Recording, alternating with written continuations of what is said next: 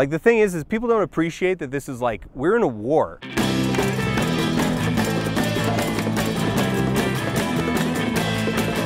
Diamond Hand.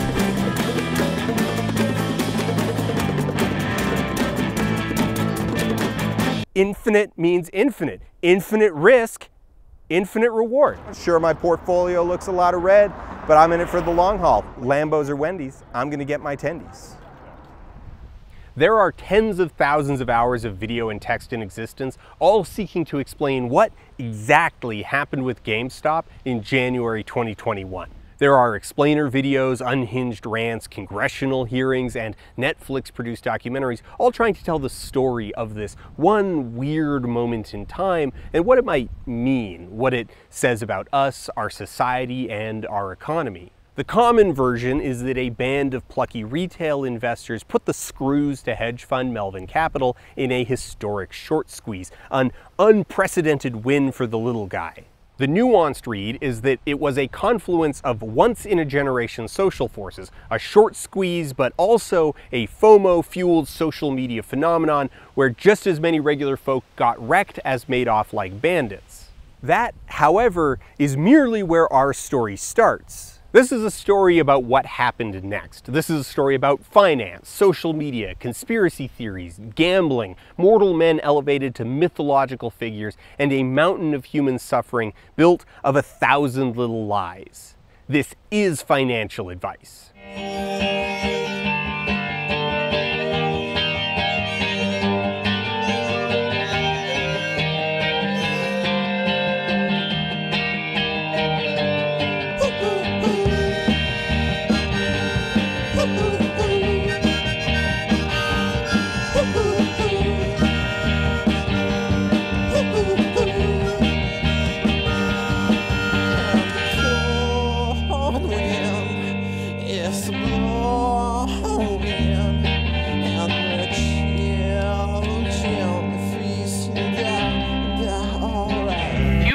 Relating to exchange practices have been characterized by greater differences of opinion than that of short selling. But what is a short sale? A short sale involves borrowing an asset, selling it at current market value, and then returning it later, ideally at a lower price than when it was sold. Put simply, it's selling borrowed goods to buy back at a profit. There are some things that we need to caveat right off the top here. First and foremost is that meme stock investors, or apes as they call themselves for reasons we'll get into later, aren't engaging with reality as you or I understand it. You'll hear of references to things that you're aware of, companies that exist in your universe, but you and apes aren't talking about the same thing. Your version of GameStop is an unprofitable mall retailer that was headed slowly but inexorably towards bankruptcy due to societal shifts and regular old mismanagement that in 2021 got something resembling a second chance via once in a generation circumstances. That second chance might pan out into some form of future relevance, or at least existence, maybe, but could just as easily be squandered and result in bankruptcy anyway. One way or another, the price as it currently stands is still floating well above GameStop's historical peak profitability during the heyday of the Wii, PlayStation 3, and Xbox 360, so even a tremendous turnaround would still almost certainly see the stock price continue to decline. The ape version of GameStop is an apocalyptic catalyst, the chosen vessel through which the world will be reborn, a mythological entity built brick by brick out of communal desperation, delusion, and cope, obsessed with the financial concept of short selling and a short squeeze. Their version of reality is undoubtedly more interesting, more dramatic, and more sensational, but the reasons for its existence are complex. It is tempting to say that the participants are merely ignorant or incompetent, but the sticky truth is nuanced. There are many elements of ape lore that are pure performance, overt pieces of fiction that persist in the collective narrative simply because it would be nice for apes if they were true. The primary lens of ape culture, born as it was on Reddit, is that of video games. They have cast a variety of people, businesses, and institutions as their matched opponent, and will often post taunting letters addressed to Ken Griffin specifically, or hedge funds broadly, where they invoke their prowess in MMOs. Bro, I play RuneScape. I literally grind for days to watch a number go up one. Been playing 15 years and still not lost interest. They think it's going to be any different now? I just realized how fucked shorts are. They picked a fight with the gaming industry, the same people who will grind hours on end, losing thousands of times in a row to simply get one win. We refuse to end on a loss. We refuse to sell. I did one of the most degenerate grinds that exists for this picture only.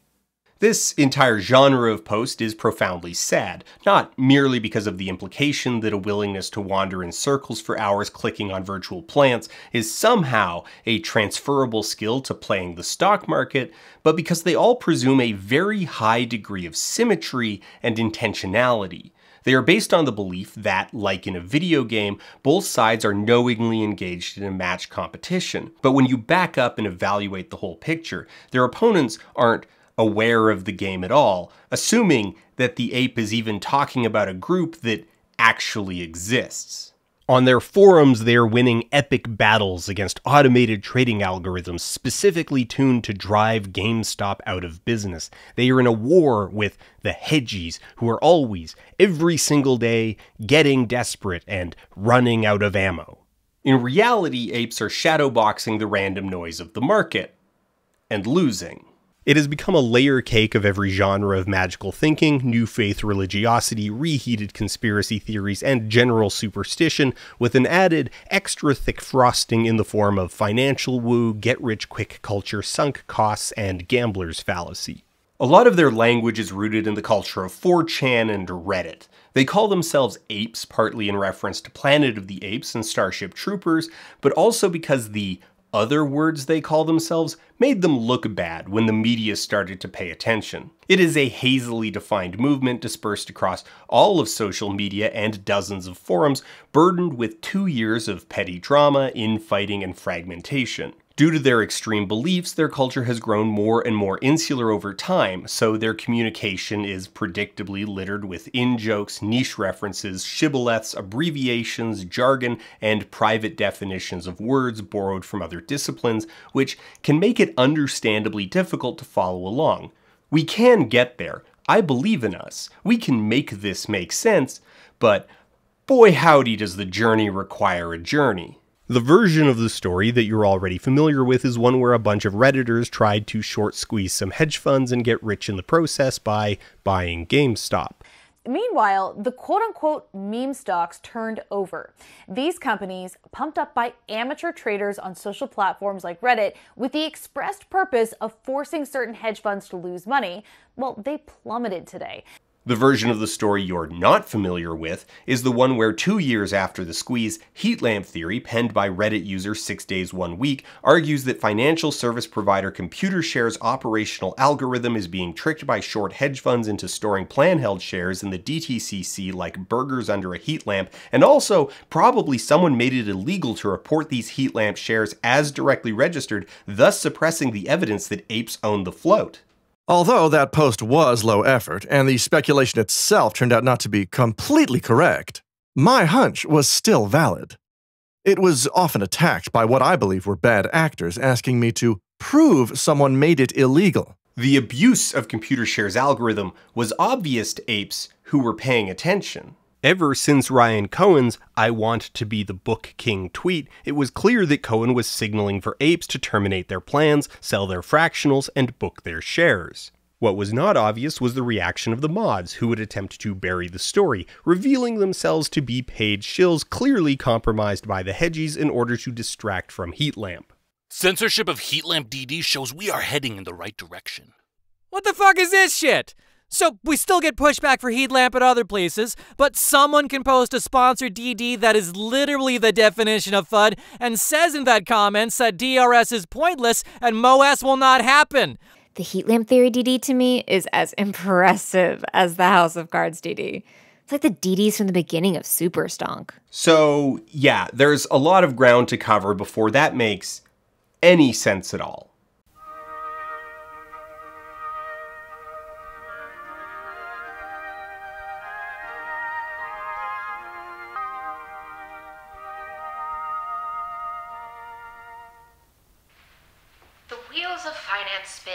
Surface of the modern world. Everywhere you look, the impact can be felt. The modern corporation consists of many moving parts, from manufacturing to distribution to communications. Likewise, the finances behind the corporation are equally complex, a delicately balanced dance of equity and credit that facilitates the many wonders of the modern world. One of the most misunderstood and contentious mechanisms of this dance is what is called a short sale. Few subjects relating to exchange practices have been characterized by greater differences of opinion than that of short selling. Though many characterize shorting as a toxic modern practice, in reality it is quite old, and it has polarized people for as long as it's existed. But what is a short sale? A short sale involves borrowing an asset, selling it at current market value, and then returning it later, ideally at a lower price than when it was sold. Put simply, it's selling borrowed goods to buy back at a profit. Two things happen with this arrangement. First is that the short seller gets to hold the full sale value for a period of time until the asset is returned, providing them with capital that they can use in the interim. Second is that when the asset is returned, this represents not the moment where the short seller makes money, but merely when they lock in their final profits. The risk reward proposition of short selling is that gains are capped by the price at the time of borrowing. If an asset is borrowed at $5, then the absolute maximum profit is $5, discounting fees and interest, of course. On the flip side is the risk profile. The maximum losses of a short sale are effectively infinite, as the price of the asset isn't bounded to 100% or even 10,000% of the original sale price. As the trend for the economy as a whole is to grow, a stock going from $5 to $10 is far more common than stocks going from $5 to zero. In addition, the borrower is expected to pay the original owner a recurring fee based on the value of the asset, similar to interest paid on a loan, called the cost to borrow, or CTB. However, unlike a personal loan that you might already be familiar with, such as a mortgage, where the payment encompassed both interest and principal on a schedule where the whole loan is eventually paid off, the cost to borrow is paid every month, prorated by day, with no cap. Thus, borrowing an asset for long periods of time can quickly eat up profit margins, or even exceed the original value of the asset itself. For these reasons, it is uncommon to hold a short position for long periods of time. Even though the name short selling comes from the bet that the asset will decline or fall short, it is coincidentally appropriate that short plays tend toward short time frames of weeks or months rather than months or years. However, this short time frame leaves the borrower more exposed to short-term volatility. Disruptions that might temporarily set a company back without impacting the overall health of the business can benefit short sellers greatly, while unexpected good news can generate a surge of excitement about a company that may leave short sellers hurting, and lenders pressuring them to return the asset or incur further liability. At the most extreme, lenders can compel the borrower to return the asset in full, regardless of the cost to the borrower. When short sellers are impelled to return large volumes of shares all at once, this sudden buying pressure can further potentiate upwards movement on the price of the security, applying further margin pressures to other existing short positions. This situation is commonly referred to as a short squeeze, as the short sellers are squeezed out of their positions by the accelerating costs. I mean, they can try. They can try as hard as they want to try to demoralize us, but uh, like as I always say, no sell, no sell. I'm not selling. Power to the players, power to the shareholders, power to the individual investors, each choosing for themselves to a, a, a company that they believe in. In late January 2021, video game retailer GameStop became a media sensation as the value of their stock rose from $20 to just shy of $500 over the course of four days. The exact confluence of events that led to this have been thoroughly documented, so we won't drag the point out here, but the critical takeaway is this. It was a once in a lifetime event that hinged off multiple specific coincidences. 1. The pandemic made the situation for brick and mortar retail dire due to multivalent impacts, so many hedge funds had taken out short positions against them, anticipating a continued decline in revenue and thus share price. Two, governments began to distribute stimulus packages in an attempt at offsetting the economic impact of the pandemic. Three, there was a zeitgeist of futility in the air that financially the average person was screwed. The stimulus package wasn't enough to fix anything, so you might as well blow it on something reckless. In specific, hedge fund Melvin Capital holds a truly reckless short position in GameStop that left the fund extremely exposed if the price were to rise, and traders on Reddit see this as an opportunity and begin promoting it on YouTube, Twitch, and Twitter. As the idea of getting in on a potential GameStop short squeeze spreads through social media in late 2020, the messaging gets flattened. New people are flooding into Reddit's Wall Street Bets forum. They are bringing with them their own ideas, their own politics, their own expectations. The thing that really speaks to people and thus works well for recruiting is the idea that this is a chance to hurt Wall Street. As more and more people pile in, the experienced traders get tired of explaining things over and over. Thus, new people are being onboarded by people who themselves have a stock trading career best measured in hours. These are users who jumped onto forums and explicitly asked, How do I get in on GameStop as fast as possible? They're not getting a lecture on risk management, market operations, and exit strategy. Not that Wall Street bets would ever be a good place to get those. They're getting a hype speech about revenge for 2008 and a bare bones series of instructions on what buttons to push. Potentiating that, any large leaderless movement with foggy politics is going to attract a whole slew of political opportunists from all across the spectrum who hope to steer the tsunami in their preferred direction. These people, trying to transform it into a coherent political movement, inject and amplify a lot of narrative about solidarity and making a difference. Ape together strong. That's the kerosene that primes this whole thing to turn into an apocalyptic investment cult. This is a bold claim and it's basically unfalsifiable, but I feel like I can point to the match, the event that really truly allowed for conspiratorial thought to take permanent root in ape culture, and that's January 28, 2021, mid morning, when Robinhood, an app based free brokerage, disabled the buying of GME and a selection of other meme stocks. Just this morning, Robinhood, which is really seen as the brokerage firm of choice for a lot of those younger investors, said that in light of recent volatility, they're restricting transactions for certain securities to position close only. And to be clear, that means you can sell names like GameStop, but you can't buy them. That was the day the price hit its all time high. And in ape mythology, that was when they were on the cusp of like total revolution. The entire system was about to collapse, and apes were about to be crowned victors over Wall Street.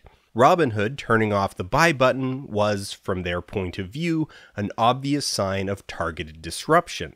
The reality is far more mundane. Robinhood runs a disruptive brokerage with a very tech bro, it's better to ask for forgiveness than permission philosophy. In a nutshell, the idea is that they run all their accounts by default as a kind of limited margin account that they call instant deposits. You make an account, start to transfer money to your account. The money hasn't technically arrived yet, but Robinhood lets you act like it has. You want to buy a stock, Robinhood pays for it up front and then just takes your money when it finally arrives. This undeniably speeds things up and makes them appealing to, say, a huge swath of people who want to get on, on this opportunity to make life changing money right now before it's too late, but exposes Robinhood to pretty substantial risk. If a million new users all sign up on the same day and all immediately try and buy GameStop at $300 a share via instant deposits, Robinhood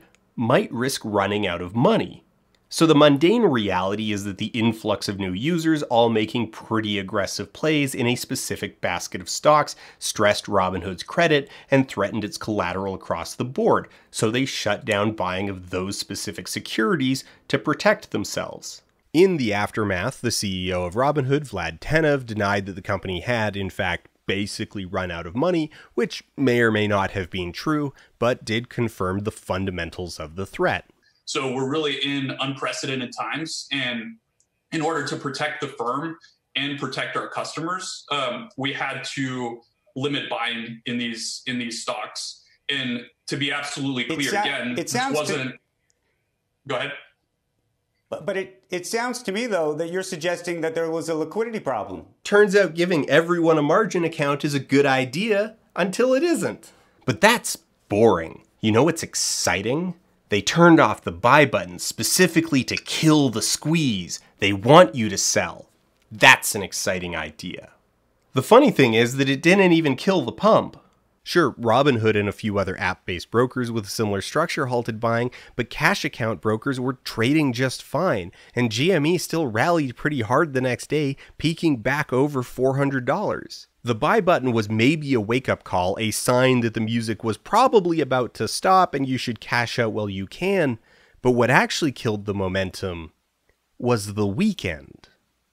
When the smoke clears, there's a congressional hearing, there's an SEC report, there's actually a ton of scrutiny in and around the specific events. Melvin Capital eats some truly staggering losses and needs to turn to Citadel Securities for a bailout to avoid closing entirely. Regulators are worried about how well they're communicating with retail investors. Legislators are worried social media influencers aren't accountable enough. Everyone knows that a charismatic figure can fleece individuals and pump and dump a single stock, but do the events of January suggest that influencers can pose a systemic risk to the market itself? Who, if anyone, was responsible for January?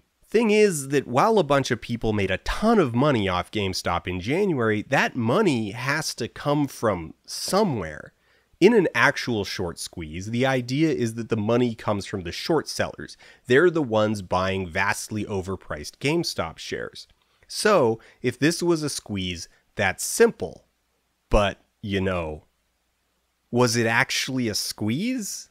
The SEC report didn't come out until fall 2021, and while still pretty dry and technical, it does try to engage with the general public who know a bit about the stock market but aren't deep in the weeds. It's not flawless, but the conclusions are sound. GameStop was a complicated mix of activities that fed off one another. There was a short squeeze in the mix. A bunch of the traffic that saw GameStop starting to pump at the beginning of the week was driven by known short sellers closing their positions. But the main body of it all, the buyers who pushed the price up to just shy of $500, that was overwhelmingly retail buyers. The people left holding the bag when the music stopped wasn't Melvin Capital, wasn't Citadel, wasn't BlackRock, it was apes. And a lot of those apes were new recruits whose first day of stock trading in their lives was from installing Robinhood and buying GME that week. The story of Apes Post Squeeze is a bunch of people standing around a trashed hotel room at 5 a.m. asking when the party is supposed to start. A bunch of newly minted bag holders trying to manifest another, even larger squeeze because the only way they could possibly make money off of their $420 GME shares is if it somehow goes even higher everything becomes fodder for theories about what really happened and why the price didn't just keep going up. Direct share registration, naked shorts, reg SHO, none of this mattered to apes at all in January, but suddenly in February and March, these ideas get injected as explanations for why the squeeze didn't keep squeezing. They will, in the months that follow, recast January as the sneeze, both to suggest that not only was it not the main event, it was a tiny blip compared to the inevitable true squeeze, the mother of all short squeezes. MOASS. I'd like to welcome you all to the Bellagio Resort and Casino in scenic Las Vegas, Nevada. Uh, we're just, uh, you know, enjoying uh, enjoying some early tendies. Uh, there's there's some news on the wind that, uh, that that big things are coming. Big things are coming as early as this weekend, and uh, and Bobby's pumping. I don't think anything could really go wrong. I think I think there's a lot of people out there who want to make it look like things are going wrong. I hold for the infinity pool. Just I buy, I hold, I DRS. MOASS is a tricky thing to talk about. First of all, it is a pure financial conspiracy theory. We're used to conspiracy theories that intersect with finance. Most get around to the subject of international bankers eventually, but those theories tend to start in sociology, science, or politics and then expand to cover finance as they grow. MOASS starts in finance with the operations of the stock market. So just from the word go, the subject is already inundated with unfamiliar terminology, organizations, and acronyms. This is all compounded by the fact that the exact composition of the belief is mercurial. MOASS is a vessel conspiracy containing many other modular theories. These theories are disparate, obtuse, self-referential, and often contradictory if not outright paradoxical. It is, as a whole, a theory that resists critical thought at every turn. If you try to formulate an all-encompassing version of it, you will find only frustration. The jar, MOASS itself, is the belief that for some reason or another, GameStop or some other meme stock company is going to skyrocket in value and make everyone who times it right unfathomably rich in the blink of an eye. Everything inside the jar is the how and the why. Taken as a whole, MOASS is many things. It's an apocalyptic event, it's an infinite money glitch, it's revenge against Wall Street, it's salvation for those who gambled away their life savings, but above all, MOASS is a story, and that story goes a little something like this. What you need to know before the MOASS, during the MOASS, and after the MOASS. All in one video. Well, let's start by chugging this bitch and get going. We know we own the float. So if they have to cover, that means they have to pay the price that we say. Now, if we hold to 10 million, that's what they have to pay. So if it goes to 100,000, if it goes to 250,000, if it goes to 1,000, if it goes to 500, that ain't the squeeze, baby. That ain't the squeeze. What's the squeeze is once it's past 10 million, then we're squeezing some point in the near future, in my opinion, we have the MOASS actually happening where uh, we've survived all the FUD, we survived the short attacks, and then the MOASS happens, baby. And then we pass our floor of 10 million or 20 million, and we get up to a ceiling of, let's say, $420 million a share. And if you're raising your eyebrows. Hey, that's not possible. The whole economy will be ruined. Shut up! You don't know what you're talking about. Do your research. 500 million per share is not a meme. I am dead serious. Major financial firms, most notably hedge funds such as Ken Griffin Citadel, owe their profits to massive volumes of fraudulent, naked short sales, flooding the market with phantom shares that suppress the price of companies like GameStop, AMC Theaters, and Bed Bath & Beyond.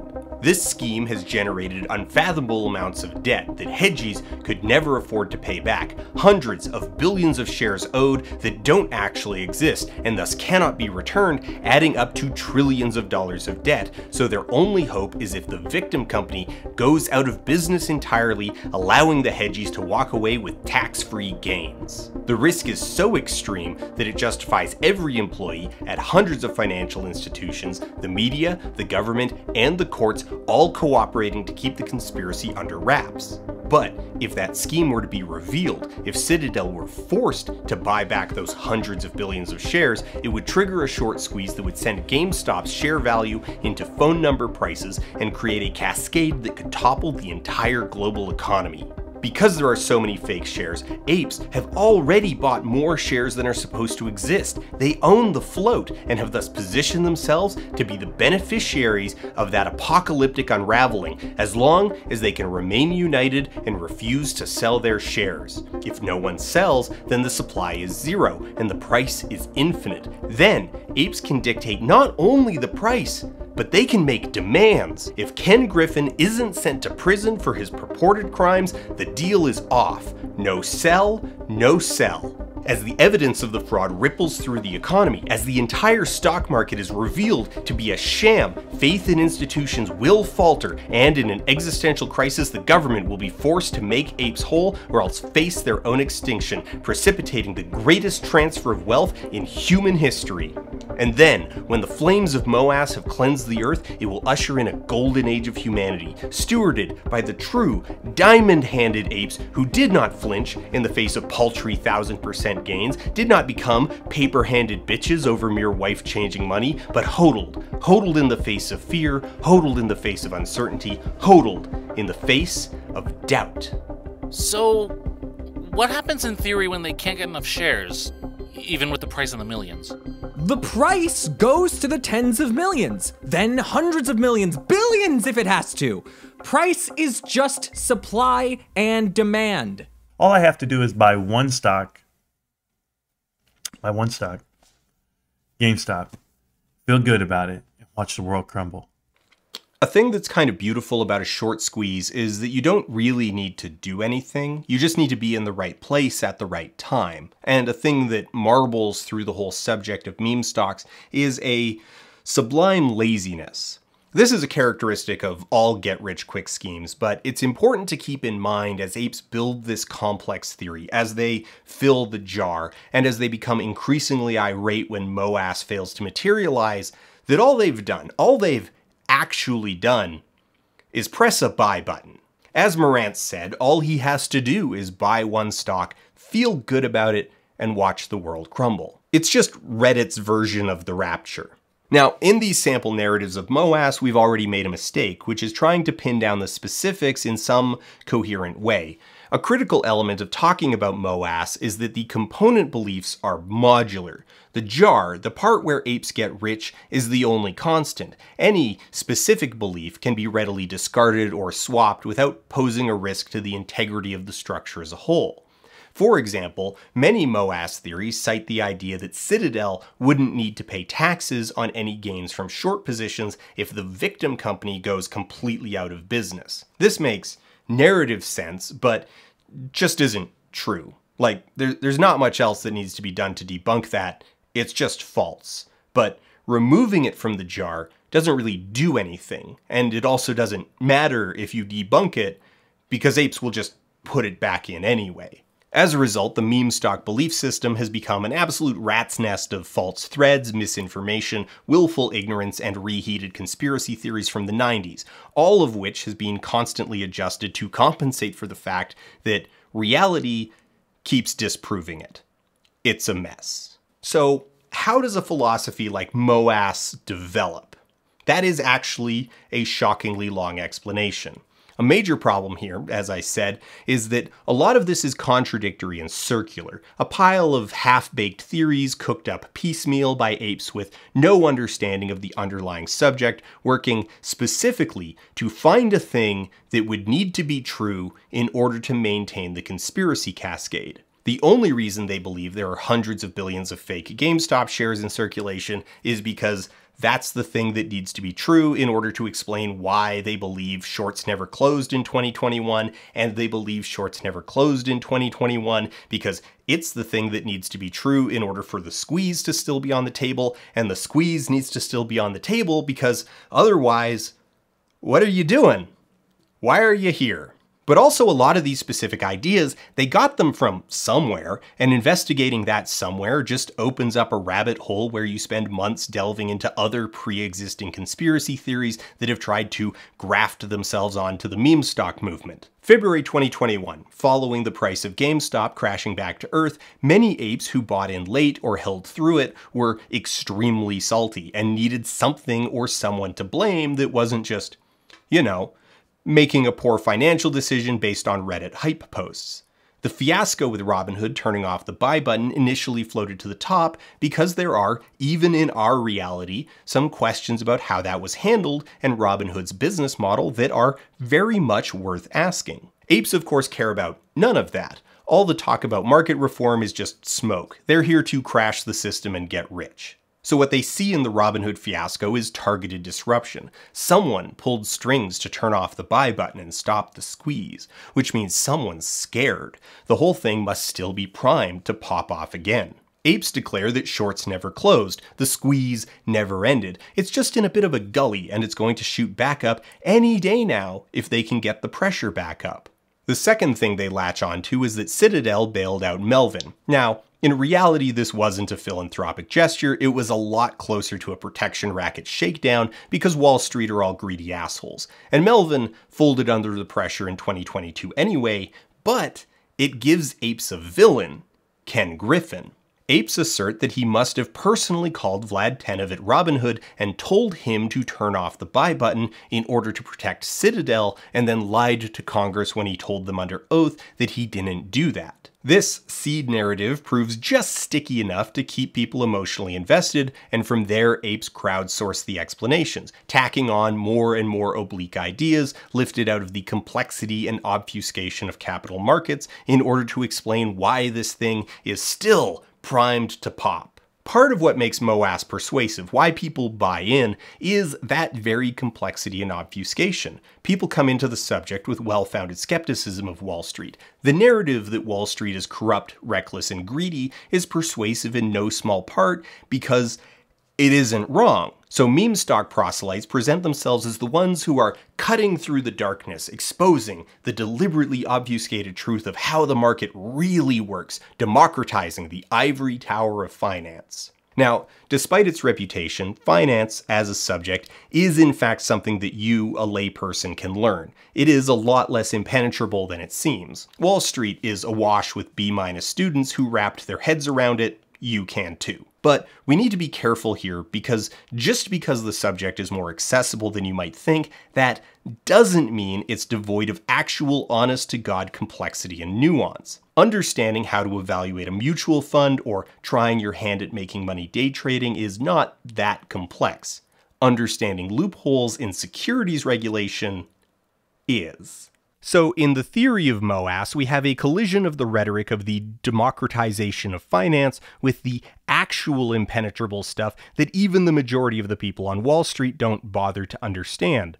And the systems of the economy are so intertwined and obtuse that it's possible to sculpt almost any story one can imagine through the framing. It is a perfect recipe for someone to very confidently present you with extremely wrong information that you have no reference point to evaluate from. And if it wasn't already clear, MOASS is almost totally devoid of any actual economics. Like, think about it. Their theory is that Wall Street is so reckless and greedy that they have created this powder keg that will allow apes to make unfathomable amounts of money off of MOASS. But despite this powder keg sitting in the open where Redditors could stumble into it, no one on Wall Street is greedy or reckless enough to pursue it, despite having substantially greater resources at their disposal to do so. And the conspiracy apes claim to be unraveling is both incredibly vast and yet leaves no material evidence. No memos, no emails, no insiders, just ghosts in the trading data. But also, apes will readily discard the data if it tells the wrong story. They'll just claim the price is fake, the stock is manipulated, bad news is deliberate misinformation, you can only trust the numbers when the line goes up. Since you can't trust news, data, or even company filings, the only thing to do is buy at any price and hold for MOASS. The mother of all short squeezes is a lot of things, but it's not a trading strategy. But please, if you think this is at all unfair to the ape thesis, feel free to do your own research. Peruse the Superstonk flipbook page with over 200 Reddit posts dressed up to look like books. Enjoy such critically acclaimed works as The Billionaire Boys Club by Badass Trader, Trust, Death, and Divorce, the parts of Ken Griffin's life that haven't been published, and Infinity War, the Final Exit DD compilation by Gherkinit. Regardless of the lack of actual finance underpinning it, we do need to establish some basic literacy in order to explain why it all falls apart and to contextualize what's so fascinating about the community that has grown up around it. So real quick, what is a stock anyway? Stocks or shares aren't a real thing. They're an intangible legal claim to some portion of a company or venture. They exist entirely in the realm of the social contract, and in some form or another are as old as civilization. Somewhere in ancient history, a couple people got together and were like, hey, let's pool our resources, dig a mine, and then split the proceeds. And in that moment, the share was born. Then, the second dude was like, hey, I don't really want to run a mine anymore. I'm trading my share of the mine for a goat farm. And now you have invented an equity market. Today's equity markets are a vastly more complex version of that. And the whole thing is in a constant state of flux, but the core concept is still there. A stock is an intangible bundle of legal rights that you can sell. But you're probably thinking to yourself, what about stock certificates? Hundreds of years ago, if you wanted to sell your shares in a mine, you'd need to go to the company offices where they keep the ledger of all the people that own a share in the mine, tell them, I'm selling my share to this guy here, take me off the list, and put his name instead. Upsides. The company knows exactly who owns what portion of the company. Downsides? Huge pain in the ass. To address the fact that this was a pain in the ass, some companies decided to embody the intangible rights into a tangible object, a certificate, a piece of paper imbued with legal magic that says possession of the paper is identical to possession of the legal rights, so that people who wanted to sell their share or even just a portion of their share could do so by handing over the certificates. But that's not a perfect system. You've probably already thought of some flaws, and once the telephone was invented, it became its own pain in the ass. What do you mean I need to actually move a box full of magic paper from Brooklyn to Manhattan? What a waste of time. Glossing over 100 years of securities regulations following the invention of the telephone and then the computer, the model that we currently use is what's called securities entitlements and beneficial ownership. When you buy shares via Robinhood, your shares are kept in a central depository, the Depository Trust and Clearing Corporation, or DTCC, with Robinhood's name on them, and then Robinhood keeps their own list of which of their clients owns what, forming a chain of beneficial ownership. Now, the DTCC, the New York Stock Exchange, NASDAQ, these are not government entities. They're private corporations that are overseen by the Securities and Exchange Commission, the SEC, which is part of the government. They are designed as self regulating organizations. That's a phrase that throws up some red flags, but it is a term with a specific meaning. Designating an organization as self regulating gives them some slack to do their neoliberal profit motive routine, subject to the approval and oversight of the regulator. If they want a new toy, they can have it, but we aren't paying for it. None of this means that self regulating orgs or the SEC get automatic or unwavering faith, but it means you can't just claim self regulated is synonymous with unregulated to explain why this vast conspiracy has invisibly rampaged completely unchecked. The actual stock market and its mechanics suck in the worst possible way the usual way. They carried literal centuries of bad habits, cut corners, and self interest. We didn't end up with high security bank vaults full of jumbo sized magic paper because it was the best system. The central depository model of clearing and settlement has a lot of genuine flaws, the kind of stuff that fuels beef between experts in the Uniform Commercial Code.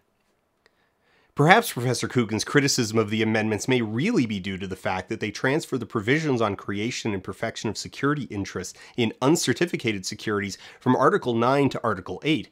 Practitioners under Article 9 have been known to harbor a jealous regard for that area of practice which has traditionally been their own. Savage.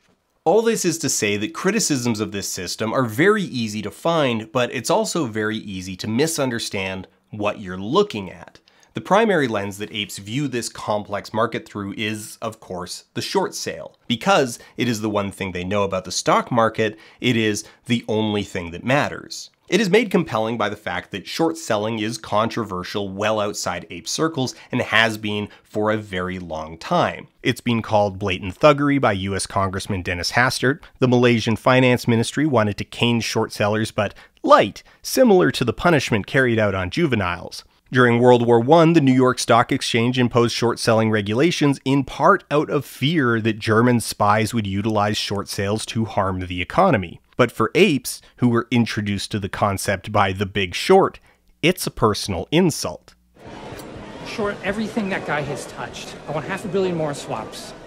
And all the while, short sales have the unique quirk of putting downward pressure on the stock price by increasing supply. So, short sales do contain a self fulfilling component. Now, there's a Nobel Prize in economics waiting for you if you can quantify that self fulfilling element, but for apes, the theory alone is enough to overwhelm all other considerations. For them, it goes to the furthest possible extreme. Short sales can kill a profitable company stone dead. When taken in combination, short selling becomes a literal conspiracy. The act itself becomes financial terrorism. Quite literally, whatever retail buys, they short. If an institution's holding it, it's not going to get shorted. Why do you think Amazon became the most overpowered merchant there is? I work for the company and I can tell you. It's because retail wasn't holding it. So then their ticker can go up because institutions were holding it. One of the truly revolutionary moments in the development of MOASS as a theory came when apes dredged up a conspiracy theory favored by dot-com companies who were convinced that they were being targeted for destruction by naked short sellers. Naked short sales are kinda tricky to talk about because the well of discussion is so poisoned by these conspiracy theorists. A naked short sale is when you generate a short sale without actually borrowing a share first. It is a real thing. It is illegal and has been for a while. People have gone to jail for doing it. It was a historical problem, but not for the reasons apes and their ilk claim. The problem is compounded by the fact that a number of legitimate market mechanics resemble naked short selling if you squint. So there's the real thing off over in the corner that people go to jail for doing because like there's evidence of their crimes. And then there's a fantasy version espoused by cranks where shadowy figures destroy companies for profit without leaving any evidence. The infuriating thing is that it really kind of doesn't even matter because most apes don't bother to distinguish between regular short sales and naked short sales. Apes start from short sellers are the bad guys and rail against anything that enables short selling, like stock lending, which is obviously important to short selling because you can't borrow a share unless someone's lending them. Apes only rope in a crank version of naked shorts when they eventually need to explain why there's no evidence of the short position that would need to exist in order for the short squeeze to still be on the table. So let's walk through it. In mid March of 2021, a Reddit post on Wall Street Bets received 22,000 upvotes arguing that the squeeze hadn't truly ended. Anybody with a brain knows that GME is not fundamentally worth its current price of this post at $215 per share. The main talking point across all the investing subreddits and news outlets was the fact that GME's short percentage reached a height of 140%. But what does a 140% float mean? Did the hedge fund short slash borrow more shares than even existed? Well, yes, that's called naked shorting, but it's more complicated than that. By the standards of present day theories, this is rather quaint. The Redditor mistakenly believed that the short sellers had survived the squeeze by purchasing shares created by market makers whose job is to trade to customers regardless of whether they own the asset at the time, mandating something resembling naked short selling at times.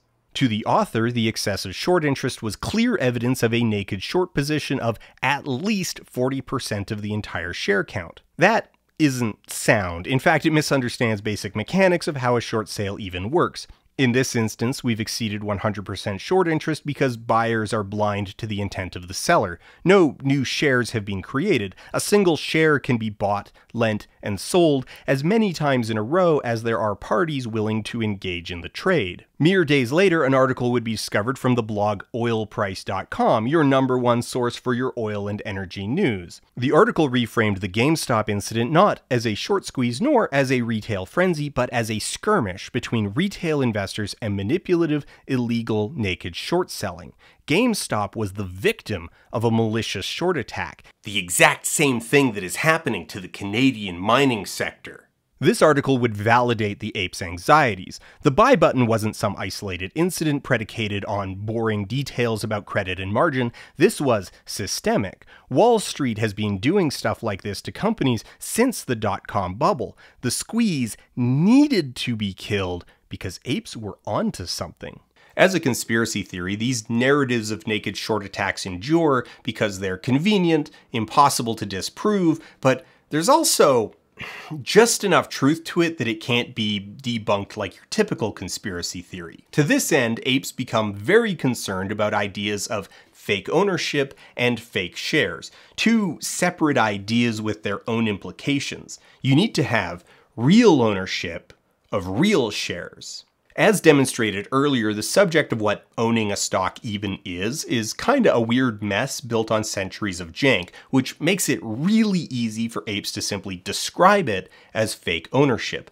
Beneficial ownership via a broker is just an IOU, and they're probably lending your shares out to short sellers, which means financial terrorism. The term fake share refers to numerous different ideas and they can be used interchangeably. The specifics are irrelevant. It could be the dilutive effects of naked shorts, mislabeled orders, rehypothecation, the obligation warehouse, the ghost of the stock borrow program, or persistent failures to deliver.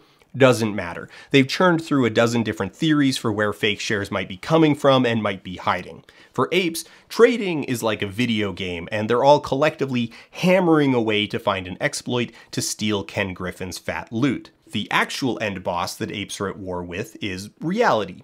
GameStop at this point in March is still massively overvalued, and the participants in the January 2021 frenzy are either cashing out some sweet gains or cutting their losses. The apes who are in really deep are convinced that it's going to shoot back up any day now, but it doesn't. It's volatile, it swings a lot on any given day, but the ultimate trend is down, and the explanation they come up with is that clearly this is because of short attacks. Normally, short attacks are specific, identifiable transactions made with the intent of spooking investors and triggering a wider sell-off. To apes, they are persistent, invisible, and need to be occurring in such high quantities as to defy all reason. Therefore, they must be occurring via naked shorts, and the attackers are avoiding closing the position somehow. So logically, if the only reason the price is going down is because of these short attacks, then that must mean that GameStop is accruing more and more short interest with each one the actual short interest in GameStop peaked at 140%, which is an astoundingly reckless situation and is the reason Melvin ate dirt, but once the apes ran the numbers themselves, they valued the true short interest at over 9,000%, and that number is pretty old at this point. Within a year, history would be rewritten, and it would be claimed that the catalyst for the GME squeeze wasn't FOMO or memes, it was the discovery of fake shares.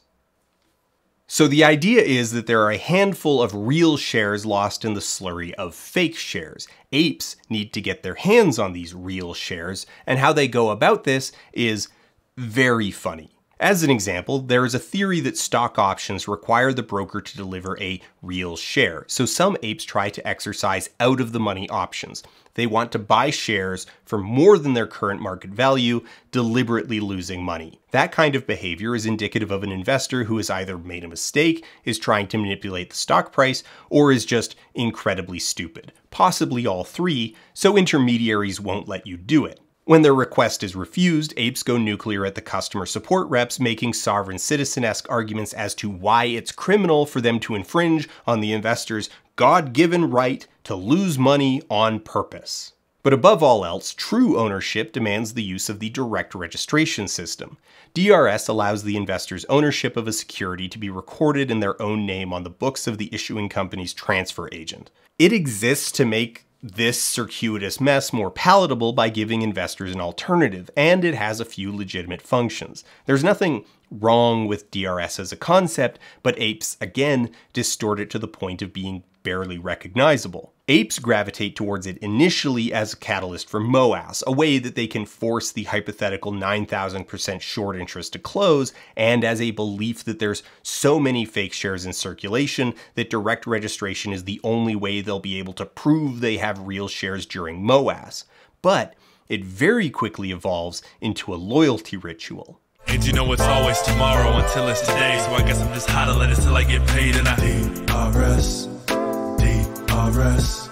Yeah. DRS. The arrested. DRS. The arrested. DRS. The central depository model was built to specifically enable transactions to occur quickly. It was built to be brutally efficient above all else. DRS, by design, reintroduces inefficiency in transferring ownership. It makes selling your shares more expensive, and it's slow. Many transfer agents require you to send important requests by mail, like with an envelope. That makes it a kind of symbolic castration. You're proving your conviction to the cause by hindering your ability to sell.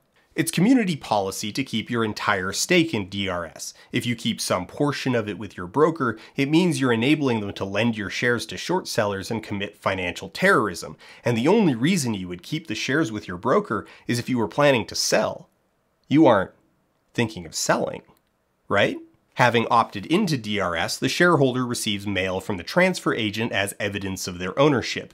These letters are regularly paraded on the subreddits, posed alongside other sacred objects demonstrating loyalty to the company. God, a lot of these have firearms.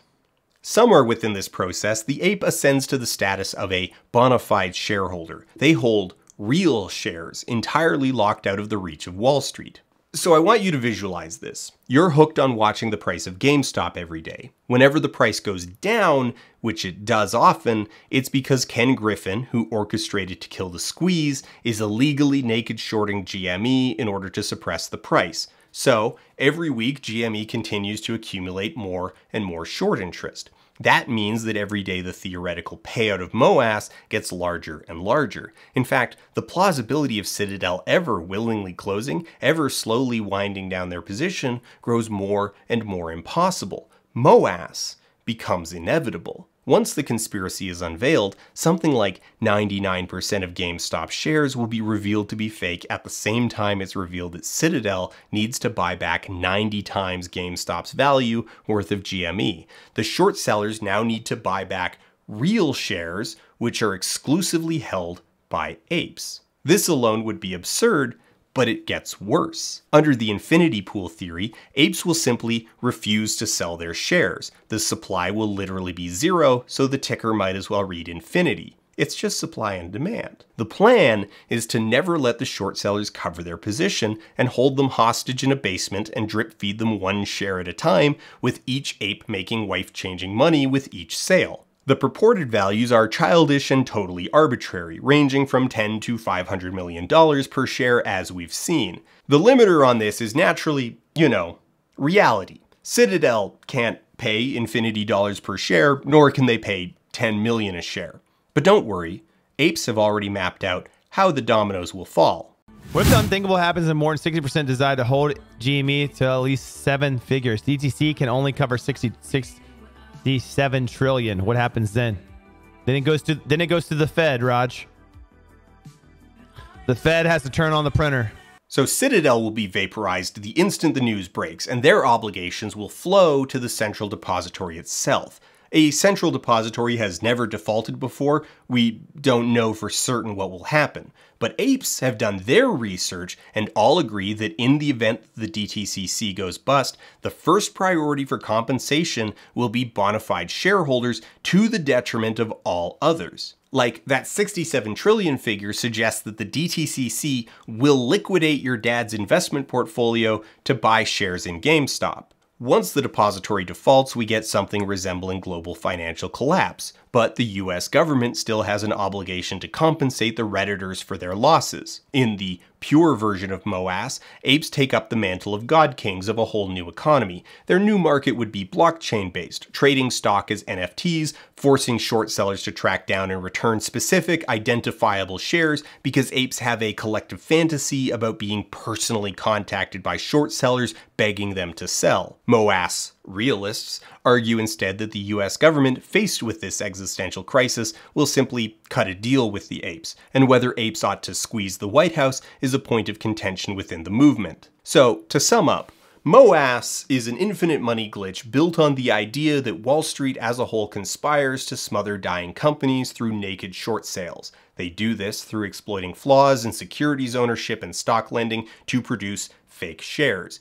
GameStop avoided its execution because Redditors intervened via a coincidence of destiny, and that positions GameStop as a catalyst to unravel the greatest fraud in history, with a side effect being that the US government will hand the keys to Fort Knox to a bunch of Redditors as a down payment for their shares in video game retailer GameStop. So that's the play. All the apes need to do now is find evidence of some fake shares.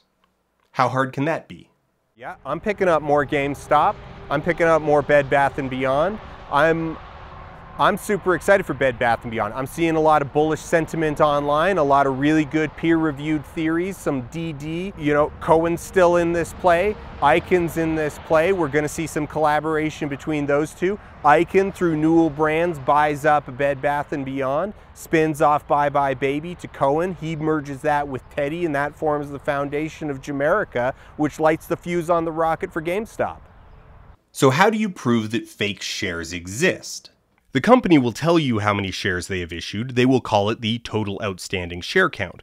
For example, here's GameStop's 10Q from June 2021 reporting 71,815,131 outstanding shares. But that is the number that is supposed to exist. If you think fake shares are being introduced into the system, that number is only useful to check your work. You have to do a share count. True, rigorous investigations of share counts occur so rarely that there isn't really a good comparison to draw from. At minimum, it's a hugely disruptive process that involves cooperation from basically every branch of the stock market. It's something GameStop lacks the authority to do themselves, and the mere mention of it might foster bearish sentiment. You know, suggesting to investors that their shares may be compromised with no basis for that belief. So it shouldn't be surprising that, to the best of our knowledge, GameStop hasn't acknowledged any part of the MOASS conspiracy. Directly. Wink, wink, nudge, nudge. This means the apes are on their own to expose the conspiracy from the outside. The method apes first latch onto is via shareholder votes. We've already seen the issues that can arise from counting shares directly from the market. Totally normal business transactions can resemble illusionary shares, and it's not possible to work backwards to solve for the initial share count, especially when the number you're after contains an unknown amount of fake shares. When a shareholder loans their share for a short sale, they are owed a share. They still consider themselves a shareholder, but they lose access to their voting rights. Otherwise, you'd have one share providing two separate votes, if not more. That gives you a hint of where this is headed.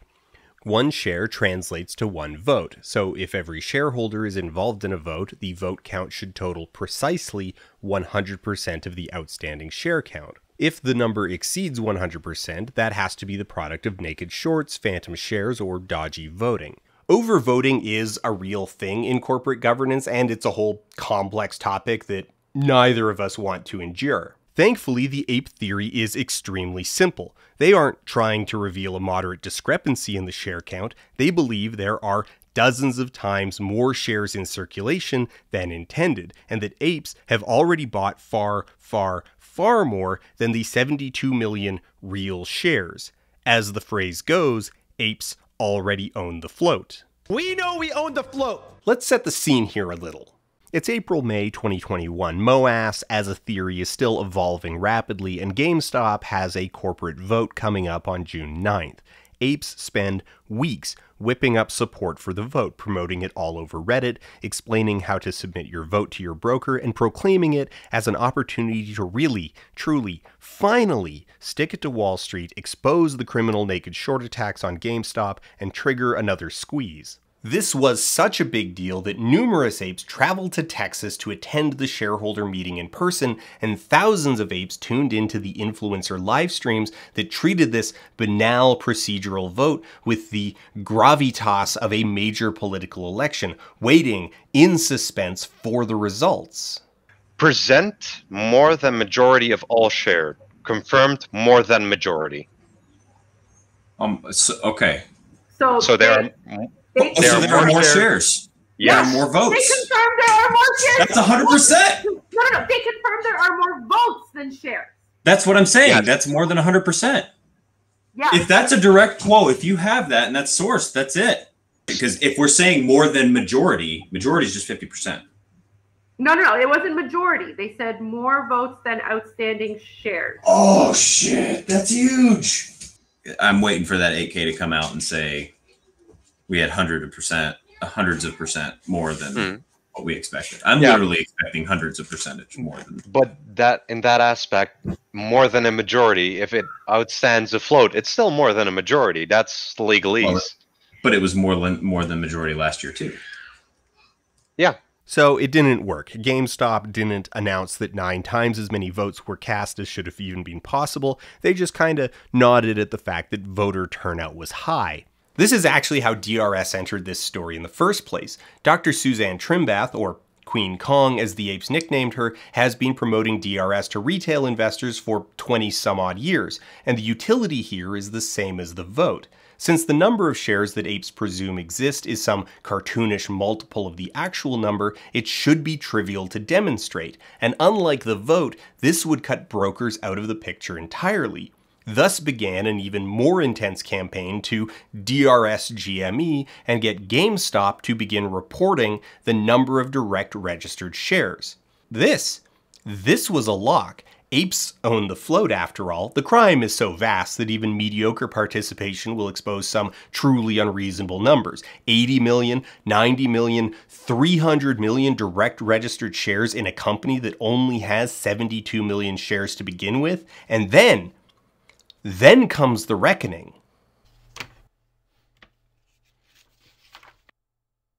Yeah, that one didn't pan out either. Okay, so the headband, maybe I should explain this. It's, uh, it's an homage. Uh, like, really everything I do is an homage to my hero, uh, DFV, or Deep Fucking Value. And at this point, we need to talk about a man named Keith Gill, an instrumental figure in all of this, who those familiar with the story probably feel has been conspicuously absent up to this point. This is Keith Gill, aka DFV, aka Roaring Kitty. He is simultaneously extremely important to the ape movement and utterly inconsequential to our story, and for that reason, it is worth profiling him in order to illustrate that contradiction. To some, he basically invented meme stocks, while to others, he is merely the mouthpiece through which MOASS made itself known to the world. The reality, in contrast, is almost unrecognizable. In our reality, he is a registered securities broker who was working by day at the insurance broker Mass Mutual. In his spare time, he streams investment tutorials on YouTube under the alias Roaring Kitty and posts on Reddit under the handle Deep Fucking Value. Next slide. It is 2019, and Keith's hope is to become something of an investment influencer based on his Roaring Kitty investment philosophy, which, as the name suggests, is a small but aggressive strategy. Next slide. As the working subject for this, Keith has a theory inspired by a blog post written by Dr. Michael Burry that GameStop is undervalued. The idea is pretty straightforward and honestly rather modest. GameStop has been trending downward for several years, but has historically always seen a significant bump in value at the start of a new console generation, and the ninth gen consoles are on the horizon. Next slide. While consumer habits are shifting away from malls in general and aggressively to digital distribution for games in specific, and while GameStop's relationship with manufacturers and developers is no longer what it once was, Gill's opinion is the market is overly pessimistic about how much life is left in physical media. Long term, his view is that GameStop still has multiple opportunities to pivot the business to something more forward looking, especially if they can expect a significant spike in revenue in the near future. This is an argument that GameStop is trading at $4 to $8. He feels it should be trading at $8 to $10 and has the capability of going reasonably higher as the ninth gen consoles carry the 2020 holiday season. That's what I think. I think about GameStop. I think it is it is at least a double. I think it is probably a triple, but it legit could be uh, a four to five bagger. It could be looking out, I don't know, looking out six to 18 months or so. Um, yeah, so that's what I think. If you disagree with that, that's fine. I, I like I said, I've been wrong about plenty of things in the past. Next slide. Of course, he couldn't have seen the coronavirus pandemic coming and how that would both decimate brick and mortar retail, with malls getting hit particularly hard, and stress supply lines for both the retailers and their vendors. Next slide. Gill chips away at this thesis for over a year, streaming about it regularly, posting stream highlights as standalone videos, and defending and refining the thesis in discussions with other traders on Reddit, even as the situation looks ever more dire for GameStop as the 9th gen console launch is set to be hammered by problems all the way up and down the chain from raw materials to shipping stoppages. Next slide. However, as the meme stock craze takes root and in particular identifies GameStop's unusually high short interest as a possible squeeze play, Keith is already pretty deep in on GameStop and willing to ride it out, for which he is rewarded pretty handsomely. Here is Keith on Christmas Day 2020 discussing GameStop breaking his original optimistic price target of $20. Hey, what's up, everybody? Cheers! Happy Friday, happy holidays. I hope everyone's having a great week. Uh, surprise! GameStop's up about 5x from when I uploaded those videos over the summer, so that's great to see. When you have a thesis and, and by and large it unfolds as you hope that it could, um, that's nice. So it shouldn't be taken for granted. It doesn't always happen, so um, that's great. And um, yeah, it uh, just to clear up uh, some potential misconceptions. This this was a true YOLO for me. when when I was building this position uh, last year, we had nowhere close to a million dollars. Um, I certainly do not drive a Lambo. We rent this house that you that you see, so it's been a wild ride for us as a family, and um, and I I'm it has been just so much fun to experience that with you over the past couple of months. I hope you had. Uh, some some fun as well, and maybe if you if you even picked up on some educational elements along the way, all the better. But it has brought me tremendous joy to to just share in this what has turned out to be a bit of a case study, right? As some of us feel, and it has brought me tremendous joy. And, um, and, and if you have, have had a good time as well, that makes me feel great. Next slide. When all was said and done at the end of January, Keith quit his job and took home an estimated $25 million, for which Maxine Waters hauled his ass in front of Congress to answer some questions about what the hell happened and if, you know, he maybe did a bit of a pump and dump. Next slide. Keith, accurately in my opinion, insisted that while he was a higher profile member of the Wave, he was ultimately just another member of a decentralized movement and demonstrably had been personally advocating GameStop as a potential profitable move for well over a year. I also want to say that I support retail investors' right to invest in what they want when they want. I support the right of individuals to send a message based on how they invest. As for me, I like the stock. I'm as bullish as I've ever been on a potential turnaround for GameStop, and I remain invested in the company. Thank you. Cheers, everyone. Next slide. Apes read literally all of this as coded messaging. I like the stock became a shibboleth to signal commitment to the cause of MOASS. Next slide. Gill read the room and wisely pieced out, while he continued to participate in the scene at an arm's length, tweeting vague nonsense mostly in the form of movie clips. The length of that arm grew longer and longer as apes grew increasingly disconnected from reality. Realizing that he was being elected to the role of cult leader, that anything he said, any company he commented on, would be baked and decoded as directions for the apes to take action on, and that such a position posed a substantial threat to both his newfound wealth and his personal safety should he fall afoul of either the SEC or the apes themselves, in late June of 2021, he unplugged his social media entirely and disappeared from the public eye. Next slide. Gill has been retroactively recruited into every twist and turn in the evolving ape lore. Everything that apes convinced themselves about naked shorts, married puts, the importance of failures to deliver, the need to DRS, has been imposed on Gill in absentia. Here, for example, is a post from May 2023, just shy of two full years after Keith's last public post, that outright advocates for conspiratorial baking. Refine your tinfoil until it is pure gold, and assumes absolute homogeneity between Keith's thesis and their own, which is to say that this poster believes DFV believes what they believe. Next slide. The poster signs off, of course, with Follow the White Rabbit. Next slide. Although he almost certainly sold most, if not all, of his stake in GameStop and rode off into early retirement to raise his family, Apes remain convinced that he's still out there, hodling to this day, cheering them on from afar, if not guiding them from the shadows via Reddit awards. Can you, can you verify that that's the thing? Like, can I can I prove that that like DRS works? Yeah. Well, I mean, DRS has never been disproven. We just gotta, you know, we just gotta trust the plan. One of the things that gets litigated repeatedly in all of this mess is the definition of what makes a meme stock. I've actually got a conspiracy laden email in my inbox that hinges off this. In January 2021, there was no such thing as a meme stock. Despite the SEC itself putting out a report, where they directly state that price movement was not related to shorts closing, there continues to be no definition of what a meme stock really is. However, examples of meme securities apparently include GME, AMC, and BBBY.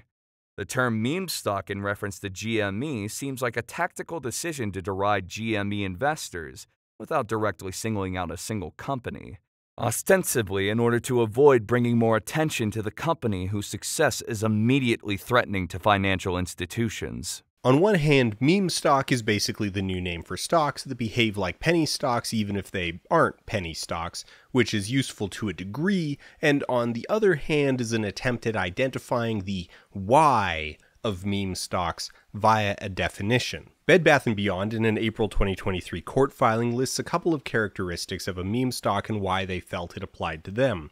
The two characteristics that they identify are a general narrative of an imperiled company and a nostalgia value. That's kinda a workable definition, but to cut through the noise, part of the problem with trying to pin down what a meme stock is, is that it's changed. A meme stock in 2023 isn't the same substance as a meme stock in 2021. The original meme stocks in the fall of 2020, AMC, Nokia, GameStop, BlackBerry, are defined by a gleeful contrarianism. It's not that there's a narrative of a company in trouble, though that is present in some cases, and it's not the nostalgia value, though that's also somewhat present too. Those were not the leading motives. What made a meme stock in 2020 is that aggressively, publicly, buying a stock in a failing company past its relevance is funny. The thing that truly separates a meme stock from every other garbage ticker is that the act of buying in and of itself becomes the meme, a combination of absurdist performance and inherently gamified exercise. In 2023, though, that wave has crested and broken. The joke is over, but the investors are still around, and as we'll see, the gleeful contrarianism is gone, replaced with stone faced dedication to a perceived cause. So, what is a meme stock? It's a stock whose play rests entirely on a concocted narrative of a storied American company under assault that serves as a proxy battleground for the fate of the American economy, the vessel through which the true believers will manifest their apocalypse and rebirth the world into a golden age. It is a stock that is a candidate for MOASS. While any stock with a high short interest potentially meets this criteria, ultimately three businesses would rise to the top to become the canon meme stocks GameStop, AMC Theaters, and Bed Bath & Beyond. Now, companies tend to have high short interest because they're in bad shape. Declining market share, lackluster product, poor reputation, loaded with debt, and probably the number one reason, they're unprofitable and not making money. So it's important to note that the self-selection process here, the thought process created by the theory of MOASS, is going to intrinsically lead apes to invest in bad companies. Yeah, so I've thought about putting one of these together. Uh, I've thought about writing a DD. I mean, like, check out all of these awards you get.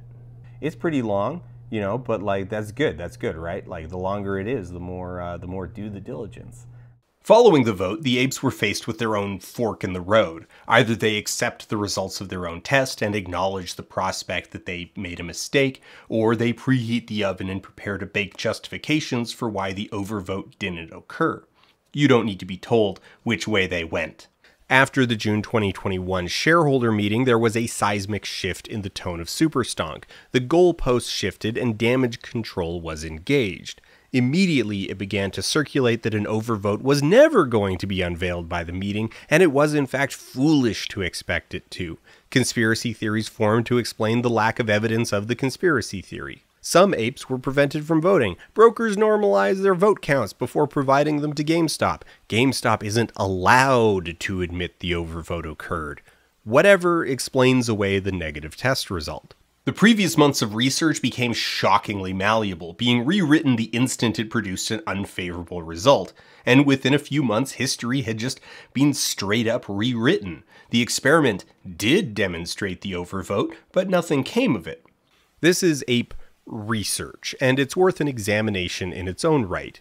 Due diligence is the process of gathering a folio of data on a potential investment that explores the whole package the company's financials, the state of their competition, likely technological or societal changes in the near future that could impact the course of the company for better or worse, how many people on the planet even theoretically want their product. It can get as intense as hiring someone to drive out into the woods just to make sure a mine actually exists. Because this is a real thing real investors do with a fancy sounding name, it quickly became an entire genre of post on ape forums. There is a delicate line for us to walk here. Learning and collaboration are good. I would love to stand here and tell you that apes came together and taught themselves how to invest and better each other's lives. It's a great story. Indeed, that's how the apes tell it. But this is not that. This is something very different. Making money on the stock market isn't difficult. A fish can do it. No one going long on biotech has a plan. But apes don't want portfolios that outperform the market. They want to manufacture events that cripple financial institutions while flipping off regulators. So ape due diligence, or DD for short, is rough. It is mythology cloaked in the veil of research. At the base layer, the first generation of apes have self-selected as victims of a pump and dump. It's a bad starting point because these people have demonstrated a lack of familiarity with the subject matter and poor judgment. Like a lot of victims of stock scams, many of them were denied a good education, and many have a poor grasp of English. As a collective group, they were weaned on Keith Gill's YouTube channel, daily discussion threads on Wall Street bets, and very simple rhetorical signals. That's the kind of material they're trained to take in, and they still largely took it in by declaring, I'm just a smooth brained ape. Can someone with a few wrinkles explain if my tits should be jacked? Rhetoric and the broad strokes are what matter. You need to understand that shorts never closed, you got a book rather than plan, and you need to hate Ken Griffin with every atom of your being. But paradoxically, apes sincerely believe they are collectively the Michael Burry in a sequel to The Big Short that has yet to be written. So while the details are irrelevant, they are driven to not just research, but produce their own original research. The majority of this early seminal DD was written by apes who joined the community well after January, many being verifiable bag holders, people who would be writing essays on securities fraud within two weeks of making their first trade. We know this because the authors will just flat out say it. Posts will often open with a short summary of why the author shouldn't be trusted. They will often admit that they barely understand the documents they're paraphrasing, but have attempted it anyway for the benefit of the community. The pitfalls are obvious. Like your standard breed of crackpot, apes are educating themselves to specifically solve a big problem. They are pursuing their chicken tenders when they skipped the first three textbooks on finance and went straight to short squeezing Melvin Capital, they skipped over some fundamentals. But you won't find Ken Griffin's secret strategy in an open access course on risk management. Rather than backtrack, apes forged ahead into increasingly complex and obtuse material looking for the truth. Like some of the crap we had to read. Furthermore, the lender is being asked to accept a new type of security interest, not the simple pledge, but one which perforce has to be a security interest in intangible property. The history of developing new security interests in purely intangible property is one that might give pause to even that rara avis, the adventuresome lender. When dealing with documents this intense, written by and for professionals, the only way a layman can deal with it is through decoding techniques. You pull out a fragment of a lecture or thesis that you can make sense of and treat it as the diamond in the rough. The rest is interpreted through speculation, rippling out from that fragment. It's a very unsound way to approach research, and these people then immediately present to the class. Analogy is a favorite of the ape author. Analogy in academia is used to bolster the substance, but since the apes were introduced to these ideas through The Big Short, analogies are load-bearing essentially using the same language as Margot Robbie, but you're expected to act on it. It's not just lightly informative entertainment, it is, in fact, financial advice. If the rocket is launched without preparation, it will bring down the whole fucking base. While the small explosives are going off and smaller players are going under, GME will have a lot more volatility. The powers that be will try to dampen that volatility as much as possible, since even a small ignition could set this bitch off. I believe the plan is to do controlled detonations until GME is the only explosive left to set off. Computershare works a bit like a heat lamp, and what that actually means is an exercise for the reader. Their thought process is so shamefully reverse engineered that they need to make a joke out of the confirmation bias just to guard against that very real criticism. An unbelievable amount of their primary sources for the mechanics of clearing and settlement come from random emails to the SEC from 2003.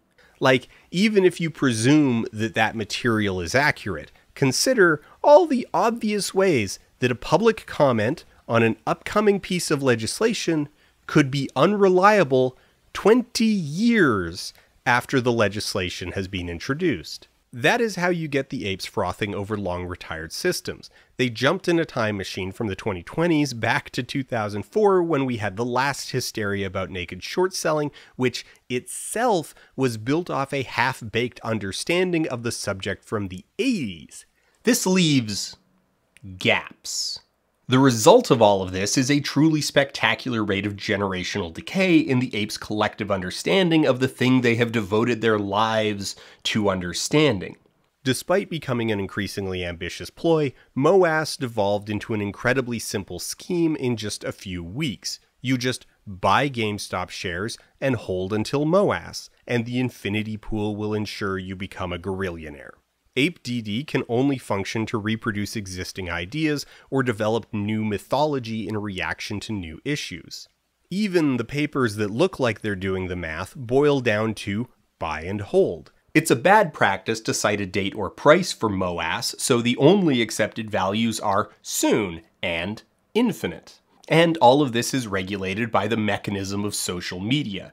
Some of this may be evoking memories of QAnon, and while the overlap between the two movements is non trivial, for the most part it is simply that, as a social media driven phenomenon, its ideas are shaped by populism and Reddit's algorithm.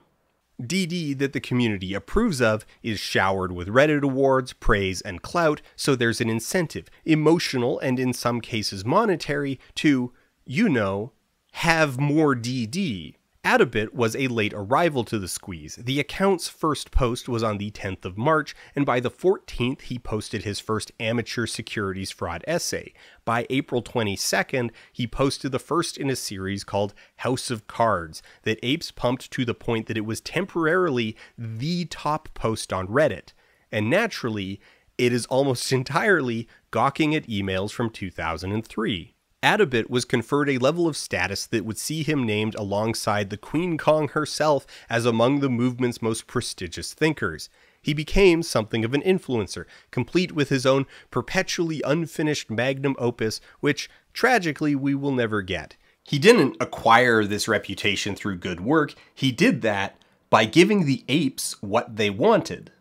For DD to be accepted, it needs to be simple. It can be long, but the whole thing needs to be fully summarized in 100 words max, because the most important thing is that it needs to reinforce the existing belief system, and no one will read your DD if you don't tell them you agree with them at the outset. All of this is enforced through the upvote button. DD that meets the community's criteria gets elevated, DD that muddies the water, or worse, spreads fear, uncertainty, and doubt, is aggressively suppressed. Regardless of the rigor of any individual essay, this is academia via populism. It is the ideal circumstances for critical thought to be suspended. The apes get to pick and choose what facts shape their thesis, and in doing so, they create mythology. This is why the MOASS theory can stand tall on a foundation of sand and vapor. The actual mechanics are interchangeable. Initially, they misunderstood how 140% short interest could occur. That led them to the stock borrow program, and while it proved their original theory wrong, it gave them a better alternative. So even though the stock borrow program is baked into the core thesis, it doesn't matter. They can substitute it with half a dozen different things. The failure of the overvote just proves how rigged rigged the system truly is. Each theory is just a stepping stone to the next. They can never be proven wrong if they never sit still long enough for someone to debunk them. Real due diligence is as much an argument to stay away from an investment as it is an argument to buy in. Good due diligence will argue the worst case scenario. What if things go completely wrong? What if a new product just sucks ass and no one wants it? Can the company weather bad news or will it fold in half? Ape DD exists to keep MOASS alive. As time went on, decoding became a more and more explicit form of DD. This started innocently enough initially. Keith Gill, Ryan Cohen, and Michael Burry were subtweeting apes very explicitly. Whether it was Ryan Cohen's official statements thanking retail investors for their support, or Gill communicating with apes through GIFs, these were thinly veiled messages to apes. But they weren't substantive. There was not a deep meaning to Ryan Cohen tweeting a fist emoji or reposting an ape meme about himself. But this normalized the idea that these figures communicated with apes through secret messages. And since these guys were never available to clarify or disprove theories, it cultivated decoding techniques that grew more and more ambitious. DFV Roaring Kitty tweet deciphered. 1627 has to do with naked shorting options derivative cases, which ties directly in which SEC Rule 10b 21. Can you explain the connection just so my dumbass can follow? All I'm coming up with is a couple of legal cases. Beyond that, I don't know. Are we saying this painting is from 1627? This painting is from a Wes Anderson movie. But the Roman numeral on the right side is for 1627. How's that tied to naked shorting? GME, Rick and Morty, how the show might be hinting at us about the financial system and the collapse of Citadel via their own greed? This is how the 1% sees us. Candidly, I've seen no evidence so called fake or synthetic shares exist, but many of you disagree. I love it. Basically saying, who am I to say the hedge funds are creating shares out of thin air? I guess we'll just pull back the curtain to see. Adam Aron saying there's no evidence of synthetics is actually genius. Just think about it. When he does pounce, they can't go after him for market manipulation because he'll have evidence of the exact opposite. To a person with autism, words mean something. Every word does. Every symbol, every unwritten suggestive wink or nudge. We're really good at giving clues and seeing deeper meaning. I say we because I have Asperger's. We notice patterns and algorithms that normal people don't. And cryptic language is often our bread and butter. Yes, DFV, MJ Burry, even Papa Cohen are communicating with apes the only way they can through cryptic means. And their messages are important. Remember, every word means something to an autist. No surprise that by June, Keith Gill stopped tweeting altogether. It got to the point where AMC CEO Adam Aron dropped his phone and tweeted out a single M, and apes became fixated on decoding it. Despite Aron's efforts to dispel the fervor, Aron's statements just fed into the idea that the M was significant. Yesterday, I tweeted an M by mistake but many of you thought I was being less than candid in the denial, and that the M must have meant something. Nope, just a tweeting error. But today, I am tweeting this, and it does mean something. Why? Question for the tinfoils. Why did he leave that much space? What is it, 10? Between text and why? I think it's 11. Can't figure it out. Ryan Cohen, the chairman of the board of GameStop, took one photo with notorious corporate raider Carl Icahn, the guy Oliver Stone based Gordon Greed is Good Gecko off of in 1987, which immediately cast Icahn as a savior figure in dozens and dozens of DDs. As conspiratorial techniques like this became more popular and more dominant on these boards, the line between vetted DD and speculation began to blur. Now, the solid AF DD was already built on the same foundation of sand as outright speculation, but there was still a clear shift over time. After the failed shareholder vote, naturally more and more radical explanations were required. All of these exist to answer the same question Where's the evidence of the fake shares? Why aren't we seeing the answer we expect to see? The answer is almost always that the debt or shares were shifted into some new form previously unknown to apes. Since the ape understanding of the market is rooted very firmly in the realm of Googling Wrinklebrain explains short squeeze, that is, most things. So we start to see more and more out there instruments being introduced. They start talking about dark pools, options, ETFs, and so on, folding that material into a more and more pure thesis based on the naked short conspiracy. Maintaining a stable community built entirely out of conspiracy, insecurity, and resentment is tricky.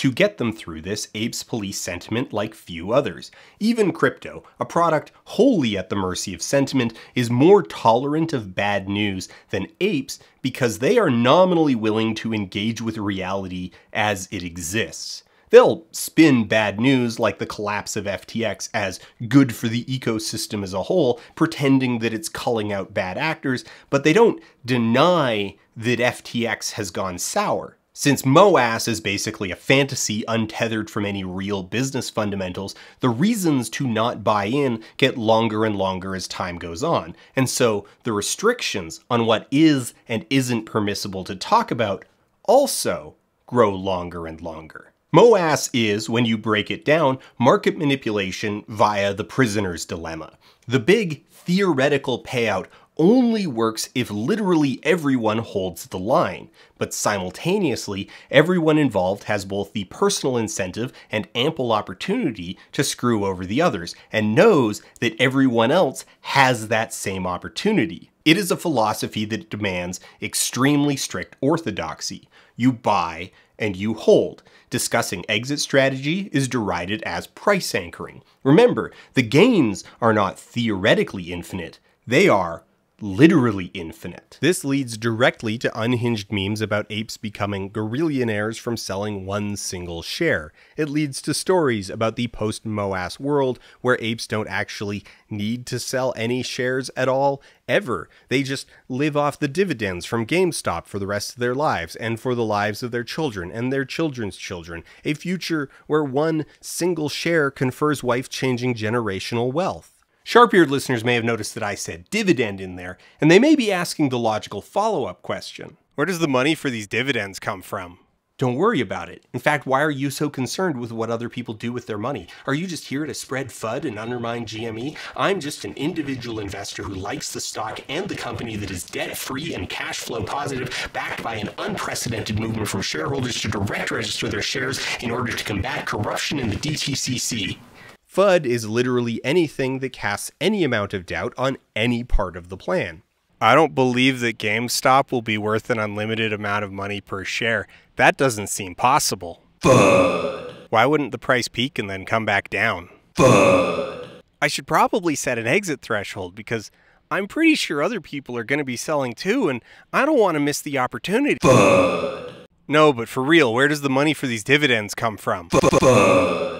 Direct registration mutated extremely quickly from an attempt at proving the existence of concrete crimes with objective numbers, a thing it failed to do, into a loyalty ritual, a spell that, if executed correctly, would create the conditions that would allow MOASS to happen a specific quirk of the narrative of MOASS, the idea that the apes are engaged in a phantom war with the short hedge funds, leads to various delusional but logically consistent outcomes, like the belief that anyone who is not on board with the play is a hired agent of the opposition. The rubberneckers mocking apes on r slash GME Meltdown aren't merely trolls, contrarians, or naysayers, but hired shills, planted in ape communities as part of an elaborate psyops to undermine them and convince them to sell their shares so that the shorts can cover, which is of course predicated on the belief that there's no real shares available, which is predicated on the belief that there's some truly unfathomable amount of undetectable naked shorts, which etc etc etc. This is a clever word inversion. An actual shill is someone who stands off to the side of a grift and acts as an unrelated hype man. They posture as just a random independent passerby while actually having an undisclosed interest in the thing that they are helping to sell. A shill wants you to buy something. Naturally, Superstonk and the other derivative forums are deeply infested with shills, literally telling people to buy and promoting the virtue of never, ever selling for any reason ever. Here's a DD post literally structured for recruitment from Reddit's front page. The reason the DD posts have so many awards is because apes believe they could abuse the system to shill GME to r slash all. They're not coordinating, though. They're all just individual investors coming to their own conclusions about what to do with their Reddit awards. In light of the community being 98% shilling by volume, it became culturally expedient to redefine the word so that all the shills would stop being accurately called shills. So in ape circles, a shill is any unbeliever. Predictably, this arrangement, where anyone who isn't frothingly committed to the cause is a hired shill, fosters an air of paranoia and has a rather extreme chilling effect on the idea of, you know, asking very reasonable questions that would be extremely normal in any other investment forum. This paranoia extends to policing maintenance of the illusion that this is all just an organic, uncoordinated series of individual decisions everyone's like, I want to make a lot of money. Let me do a bunch of research. And they're like, hey, here's what I found out. Everyone's like, yeah, me too. Yeah, me too. Yeah, me too. Yeah, me too. And then like we realized, oh crap, all of our predictions we've made as a group individually, then as a group confirmed and vetted and, and picked apart, and the best rose to top. And, and that's how you get research. It's like the perfect experiment this feeds both the narrative that their behavior is not a mass hypnosis, but is instead the product of genuine rigor, and this has the added bonus of providing a basis to deter accusations of market manipulation. Now, while it's true that it's unlikely that we'll see a RICO filed with 20,000 John Doe defendants, apes seem aware that they're playing close to the fire. They are looking to collectively engineer an artificial price movement which would absolutely get you in trouble if you did it solo, so they lean into the decentralized nature of the movement as best they can, and it's it's very funny. Edit 2 removed some wheeze, etc. from my exit strategy after concerns were raised that phrasing my exit strategy like I originally did might be construed as attempted market manipulation. In the end, anyone reading this is just an individual ape doing whatever they want with their own money. Users will incant this is not financial advice, and I just like the stock, with the same energy as no copyright infringement intended in the description of a complete upload of Dances with Wolves to YouTube. It's not financial advice, not legal advice for entertainment educational purposes only. Anything I say is my opinion. Please don't make any financial decision based on anything I say in these videos. That being said, hit the like button, subscribe button, like YouTube algorithm stuff. So you get the videos, I put them out. See I'm thinking, see me analyzing that data, but like I tell every day, the day they release us is false. Man, us a false narrative market so we can make bad trading decisions. Listen. So the point is GameStop is operating smarter than ever before. And that's what people just don't understand yet. That's the public eye just doesn't see. And it's because of all the mainstream media FUD. And that's just why I think the mother of all short squeezes is inevitable. Of course, this is just my opinion. You literally should take my opinion with a grain of salt. I'm telling you, a stock is going to go way up because a lot of people like it. And I'm just a guy on the internet. Why would you believe me? They don't collude. Instead, there's an abstract infinity pool that happens to describe the abstract notions of shares that will never be sold. It speaks to their insecurity on whether they're safe to be doing this, and that concern is probably well founded. Because, sure, the US government wrote off the GME squeeze as a one off viral event and let everyone off the hook, but if the apes get their wish and really do deliberately risk collapsing the US or global economy after several years of organizing, yeah, I think the US federal government would sooner make that RICO filing than give you slash Hopolas literally billions of dollars for his shares in GameStop. The whole of ape culture is persuasive in no small part because of how it plays off existing social anxieties.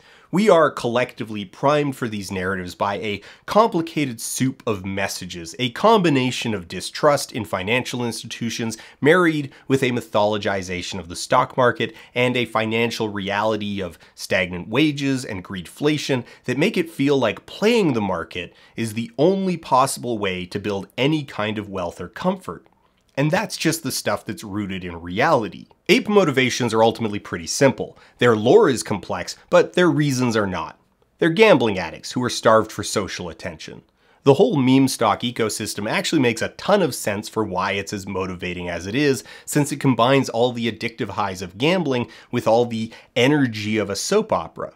Every day there's something new. There's the constant drama of the price action ups and downs, though mostly downs. If it's not price action, then it's new theories, new DD, new moderator drama. It's very easy to compartmentalize as entertainment, to forget what's at stake is, you know, the family finances. Money is really easy to abstract away at the best of times, and it only gets easier when it's reduced and gamified, and when so much of it is irony poisoned performance. Apps like Robinhood have already come under criticism for their gamification of playing the market, but even if that weren't a factor, the apes are more than happy to gamify things for one another and frame everything in the language of video games, the language of boss fights, grinding, and completionism. That's already addictive, and it just upgrades to weapons grade bad times when combined with conspiratorial mindsets and the attendant narcissism, paranoia, and overconfidence. Gordon Pennycook, an associate professor at the University of Regina, in his pre publication paper, Overconfidently Conspiratorial, argues that the actual defining trait of the conspiratorially minded isn't narcissism or a need to feel special, though those are observably common traits in conspiracy circles, but excessive overconfidence. This is anecdotally intuitive to anyone who has spent significant time in conspiracy circles, but it is this overconfidence that leads to the refusal to reevaluate beliefs, the assumption that they accurately understand complicated systems better than others, and this is to me the most interesting claim of the paper a counterintuitive belief that their opinion is in fact in the majority. The entire thing with apes policing negative sentiment is actually a pretty good example of that, in the way that they have an itchy trigger finger for calling anyone, even longtime DD writers, a paid shill if they say anything negative or disagree with a favored theory. In the ape mind, the only possible reason to express doubt that GameStop is being attacked by short sellers who are trying to kill the company in order to prevent MOASS is because you're being paid to. The ape thesis is, to them, so self evident, so persuasive, that it's just common sense. Everyone already believes it. Inevitably, this leads to pinnacle echo chamber behavior. No one outside the bubble can be trusted. Anyone talking about apes is engaging in psychological warfare to wear apes down, because why else would you care about apes or find this interesting or newsworthy? The inevitable synthesis of this thinking is a warped worldview where companies no longer go out of business for any reason other than targeted destruction. Sears, Blockbuster, Toys R Us, hell, Enron get retroactively cast as the victims of short sellers. This is a lens on the world necessary to recast ape behavior, their quest for infinite wealth, not as self serving greed, but as altruism. Virtue has been a part of the rhetoric since the GameStop squeeze itself. Investors were engaged to buy and hold to get revenge for 2008 and finally let the little guy have his fair share. We won't say that people didn't genuinely believe that, but you can imagine how useful that narrative would be to convince apes to hold while you personally divest your entire stake at $400 a share. The continuing escalation of the antagonism of Wall Street has fed the apes' sense of morality. They are very much the good guys who are saving the world by holding shares in GameStop, but at the same time, they have, you know, ulterior motives. They want destructive amounts of money. They do that vile thing where every share is a tribute to certain deceased individuals. You know, a tribute that involves doing the thing that they already wanted to do hold GameStop shares. Sandwich? This is a tribute to my grandpa. Rest in peace, Jack. This creates fascinating and harrowing conflicts in the ape mindset. Some apes are here just for the money and find the activism or philanthropic elements to be cringeworthy.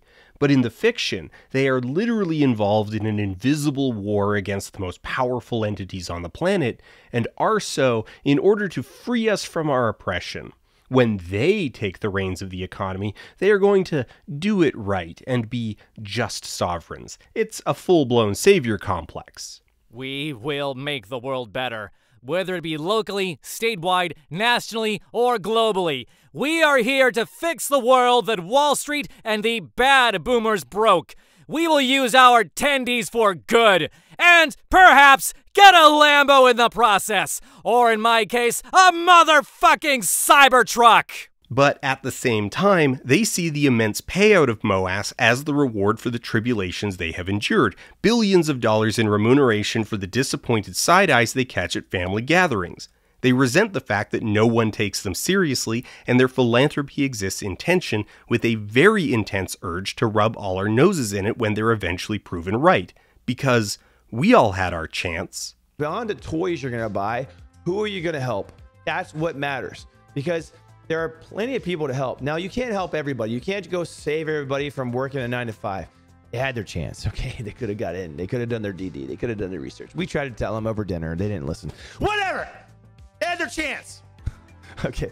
Because apes are so disconnected from actual fact, reality has been happy to deliver them an endless supply of great disappointments, week after week after week of failed catalysts, missed hype dates, deconstructed gamma ramps, and falling stock price, as the stock price of these unprofitable companies continues to decline from their short squeeze peaks. It's just it's kind of really, really funny to watch this mass of people so deeply convinced that a drop in the value of GameStop is a direct attack on them when GameStop is currently valued well above even their most profitable years ever. As with any other apocalyptic belief placed under cognitive strain, this leads to aggressive fragmentation. One group says that DRS is the way, but apes just haven't been doing it properly, and an argument breaks out about plan accounts versus book accounts. Another group says that plan versus book doesn't matter. All that matters is apes need to DRS harder.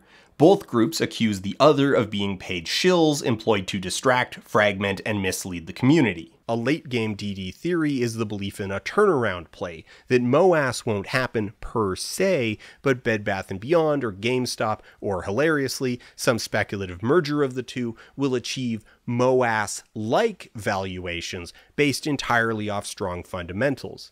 And the MOASS is irrelevant because what GameStop is building is a great company. GME purists hold to a pure form of MOASS that's firmly rooted in spiritual loyalty to GameStop, which rapidly turned into a spiritual loyalty to Ryan Cohen. Yeah, I didn't. I mean, I didn't actually buy until March, but you know, I was reading the DD. Then you know, Ryan Cohen he makes this play into Bed Bath and Beyond, and everybody on the boards just gets like super hype about it. And uh, and yeah, like anything the man touches is gold. Like he's he's a kingmaker. He's the book king. So who is Ryan Cohen?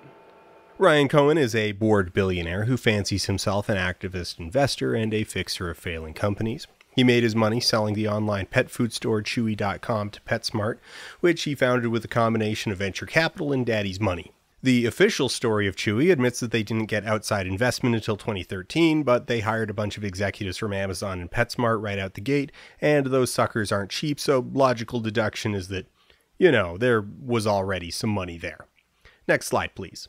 Ryan Cohen ran Chewy as a tech company, burning venture capital and running at a loss until they were bought out for 3.35 billion in 2017. When the company went public in 2019, the company disclosed a $268 million loss for fiscal year 2018, Cohen's final year as CEO. Next slide. In September 2020, as the meme stock wave was gaining steam, he disclosed that he held a 10% stake in GameStop, believing that the company could be turned around. Cohen wrote an open letter to the GameStop board in November, proclaiming his immense faith in GameStop's potential if they would only take his advice. On Thursday, December 17, 2020, he increased his stake to 12.9%. All three of these events were catalysts for GME. In August, GameStop was trading below $5. By the end of the year, it would be around 19. Next slide, please. An activist investor is an investor who buys stock off the open market and then throws their weight around and tries to take an active role in the running of the company, despite the fact that they didn't actually give any money to the company. Next slide. On January 11, 2021, it was announced that Cohen would join GameStop's board of directors, and then in April, Cohen was made the chairman. Cohen made bold promises of a transformation into the Amazon of gaming. Next slide, please.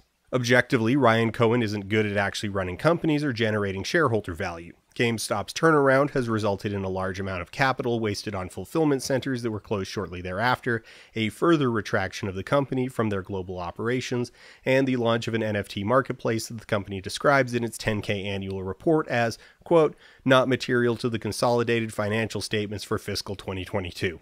Next slide. Ryan Cohen's one material impact on any business he's involved in as an activist investor is that he is followed by apes who, based on his limited role in the January 2021 run, have elevated him to a messianic role, believing that he is working behind the scenes to engineer MOAS and thus follow his investments. Next slide. This irrationally passionate fan base has succeeded in keeping GameStop hovering at an absurd valuation well above the company's actual financial performance, but they're also highly annoying, a burden for management to deal with, and a possible threat to employees. So what I'm gonna do right now is I'm gonna go to this store here and ask if they are hiring. Let's see what they what they say. That's Ryan Cohen uh, strategy. Oh yeah. I like the guy. I don't know if you like him, but I, I like him so much. You know who I'm you- talking Are about. you really interested in? You know who I'm talking about, right? No. You never heard about Ryan Cohen? There's, rings a name rings a bell. That if you're working in GameStop, that name should ring everything. Uh, it's, it's too early. See. So right now, what I notice is a lot of layoffs in Bed Bath and Beyond, and a lot of recruiting, aggressively recruiting people in GameStop. Yeah. Most likely, there will be a merger between GameStop and Bed Bath and Beyond Wow. into a bigger company. I don't even know how that works because GameStop sells games at Bed Bath and Beyond. the whole the whole thing is gonna change. All right, so that's the plan. So GameStop is merging with Bed Bath and Beyond, and Ryan Cohen. He's not joking. He's not sitting as a chairman in this company, GameStop, playing with his balls. No, he's not. He's hiring aggressively hiring retail people, and the merger is coming. When? The only one who knows this answer is Ryan Cohen. Apes have taken to decoding any and all communication from Cohen for any coincidences that they can point to as indications that he is doing what they claim he is, because it would be very bad news for apes if he were, in fact, just some rich loser who enjoys the attention. Next slide, please. No one wants to work with him, given the poor material performance of GameStop relative to its inflated share value. Retailers Bed Bath & Beyond and Nordstrom both told him to go take a hike after he attempted to buy his way into power. You know, really, at the end of the day, the hedge funds like they should have seen this coming. Like they targeted gamers. You know, we we know what it means to just like grind a boss fight and and like you know grind reputation in uh, in, a video game. And so like you know locking the float, uh, we can grind that out. We know what that takes. Uh, DRSing everything, you know, all of it. Uh, we we can do that. Compared to GameStop and AMC, companies with products for kids and teens that at least have some connection to the nostalgia of youth, Bed Bath & Beyond seems like a curveball until you realize that the apes just followed GameStop's savior to his next project. When Cohen first disclosed his stake in Bed Bath, the resulting ape frenzy triggered Bed Bath's largest intraday percentage price increase since its initial public offering. Some investors bought in due to uncritical zealotry towards Cohen or belief that the Bed Bath play was a MOASS master stroke. Others believed he would genuinely rescue the company, while others just wanted to get in early on the next pump and dump. Whatever the specific reason, we're only talking about Bed Bath & Beyond because of Cohen. Cohen bought into Bed Bath because it was a dying company he thought he could save. It's cut and dry. Likewise, there is no nuance to Bed Bath's troubles. It's a brick and mortar retailer that was struggling for all the obvious reasons. Already declining sales, a failed pivot to private label goods, the pandemic and subsequent supply chain disruptions, poor relations with their vendors, and a disastrous stock buyback program loading the company with debt created a negative feedback loop where the company couldn't stock its shelves the company reached the point of allegedly turning off the air conditioning to save money. Why Ryan Cohen thought he could right this ship is anyone's guess, but it's fair to say that he didn't have much tangible impact one way or the other. Presumably, he intended to rapidly work his way up the chain as he did with GameStop. Instead, the board resisted Cohen's influence, and within weeks, Cohen and the company had settled on an agreement to prevent a hostile takeover attempt.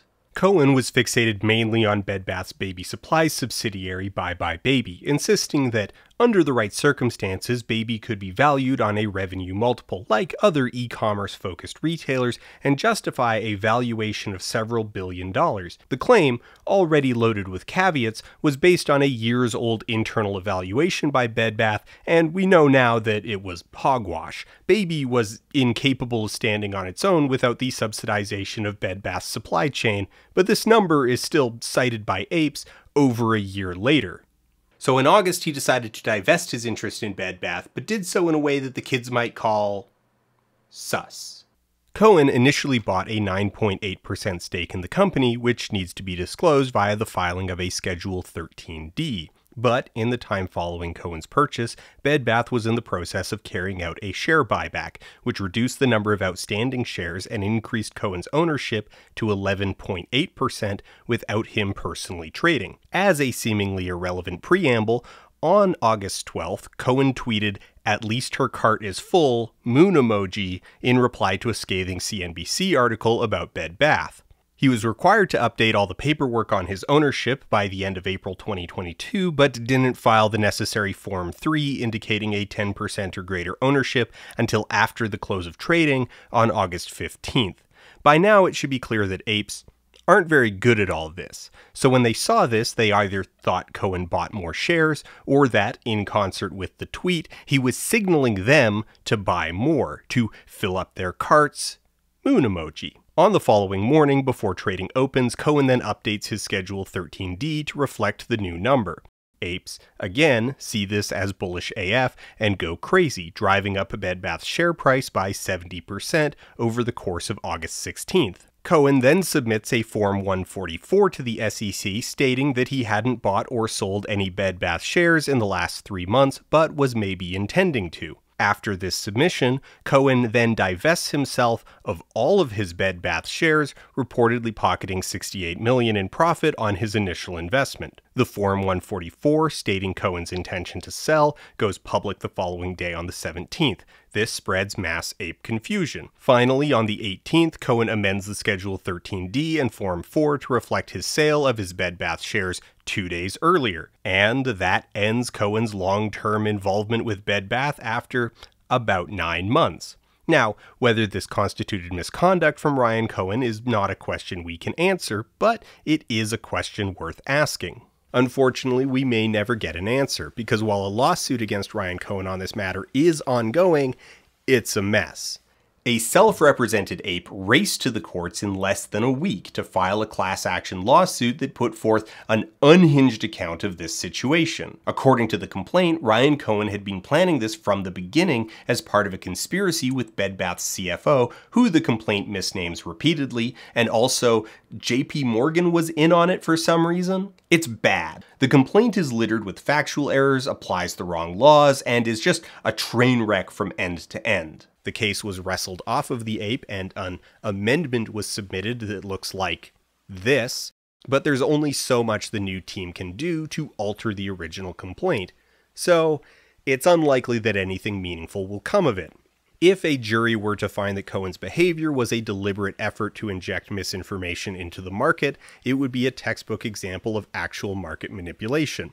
It would be a situation in which retail investors would be compensated for damages caused by said manipulation. Yet, remarkably, despite this being a lawsuit focusing on giving the apes money, the loyalty of many of the apes remains with Cohen, so they cheer against the success of the class action. This is the end of Ryan Cohen's involvement with Bed Bath & Beyond. We aren't aware of him so much as mentioning it in the time since a one-off interview in November of 22. You know, my my views changed uh, of the business, and ultimately, I sold.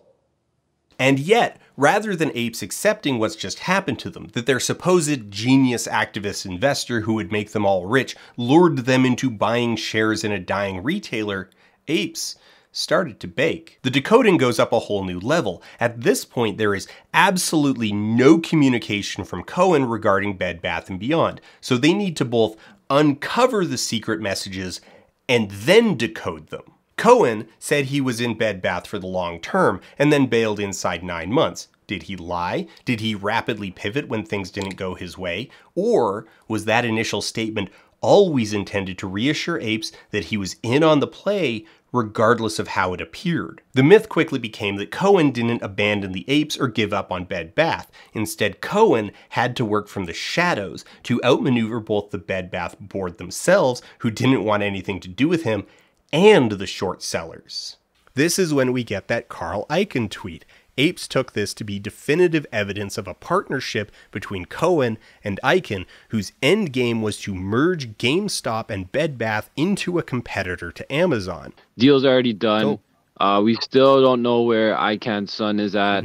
Um, RC's yet to reveal himself. Icahn has to be involved himself. Oh yeah, look at IEP falling, man. The timing of everything, man. Yeah, Come on, they like these people who don't believe in this shit. They want to try to psych you out and believe gaslight you into shit. But honestly, man, the timeline matches up. So honestly, man, I'm taking the, I'm taking the Yeah. gamble personally. So there it is. And then, and then in November of 22, Cohen publishes a series of children's books called Teddy. These are mediocre pro-capitalist pablum, basically exactly what you'd expect from a billionaire libertarian who is bored out of his mind and desperate for the approval of others. Apes, of course, fired up the industrial ovens and got ready to bake like they'd never baked before. Ryan's children's books are actually hidden messages for us. Just look at those titles China, money, running the world. Words can't hurt you, as in FUD. it's the only way he can legally communicate with us. My daily tinfoil. What's up with the pattern on Teddy's signature shirt? I know people think these Easter eggs are wrong, but I believe the deal was closed on the 10th, Teddy Day. And the 13th, Teddy's belt buckle, is when the filing will drop. Also, Merger Monday. China is an anagram of Icahn. Teddy goes to China. That means Ryan has approached Icahn about a lucrative partnership. The books teach literal children to not put all their eggs in one basket, which of course means GME holders should also buy Bed Bath & Beyond. When it's 150, the clock hands point to 10 and 2, which means that any alignment of 10, 2, 12, 1, and 50 become valid readings of the hidden code. If you save your money, you can buy ice cream, which clearly means if you hold, then you get your treats, which is another signaling of tendies. I want to be the book king. Clearly, he wants us booking our shares. General Tso's chicken, tokenized security offerings. It was rumored that Cohen was going to be buying a stake in Alibaba, the Amazon of China. But then also, Cohen tweeted about James Cameron's Titanic, one of the most popular and successful films in the history of human existence, and Apes took this as an obscure reference to a potential announcement. And wouldn't you know it? February 2, 10th, 10, 2023 is both National Teddy Bear Day and the re release of Titanic. There are too many coincidences. This is it. This is Teddy Day. Ryan Cohen is going to be announcing an acquisition of Bed Bath & Beyond with his good friend China, Reed Icahn, where he's going to spin off buybuy BABY and merge with GameStop to form Gamerica. Exactly. And the shills call it all crazy conspiracy theories. Fucking RC can't just come out and say, "Oh, hey guys, I'm working on an M&A deal with buybuy BABY. Get ready to be rich on a specifically called out date." He said all he could say through the books. If you are really patient, one day you will have money to eat all the ice cream you want while taking care of your family and friends. So as I do it here and I and I see it, guys, these guys are expanding their catalog, but without throwing up the flare. hey, we're getting bigger. So now what can happen for GameStop? GameStop can absorb Teddy at any time. And in verse, they already have it all set out. The map is there. He's been building it in secret behind everyone else. And now you have a partnership. So let's take a moment to marinate on this, to consider just how far we've really come. We've gone from vaguely legitimate, if poorly understood and ill-defined theories on market mechanics to staring at illustrations of an old man fumbling a turkey in order to extract coded financial advice from the patterns on his shirt. There's really only one way this can go. It is a reality that businesses often make poor decisions, misdirecting company resources to wasteful pet projects or failing to adapt to changes in taste, technology, and society. So we've reached a point where apes are convinced that Ryan Cohen is going to swoop in and buy out Bed Bath & Beyond. Their evidence for this is overwhelmingly based on secret messages delivered to them via literal children's books. Their grasp on reality has totally frayed at this point. Every Bed Bath statement was a coded message. All bad news was just to throw off the short sellers. This meant that as Bed Bath continued to decline, the apes looked at it with distrust and confusion. In January 2023, Bed Bath & Beyond defaulted on a loan payment, and on February 1st, they missed an interest payment on three tranches of bonds. This is bad. This is we are completely out of money levels of bad.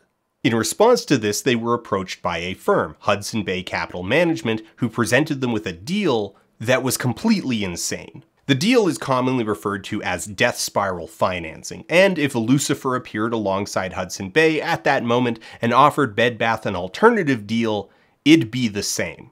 These deals are the last resort, where the investor will offer a shockingly small amount of capital up front, and in exchange, they get to decimate the stock price to whatever extent is necessary for them to earn their return. A company signing a deal like this is the unambiguous signal that they've exhausted every alternative. The basic arrangement of the deal is that Hudson gets preferred convertible shares from Bed Bath for a lump sum of money. Then these preferred shares can be converted into common shares that Hudson can immediately sell on the open market, with the number of shares generated based on the lump sum divided by the recent average value of a share, with a sweet discount just to make sure that Hudson always has a profit margin. These are called death spiral financing because they're a recipe for massive share dilution. The financer buys preferred shares for a fixed sum, converts those into a variable number of shares, and then dumps those shares onto the market, almost certainly lowering the share price via dilution alone, if not compounding negative sentiment and massacred investor confidence. The share price going down means that the next preferred share they convert will convert into even more common shares, which will further lower the price, which will convert the next block into even more shares, and over and over. In a mere six and a half weeks, Hudson more than quadrupled the number of Bed Bath & Beyond shares in existence.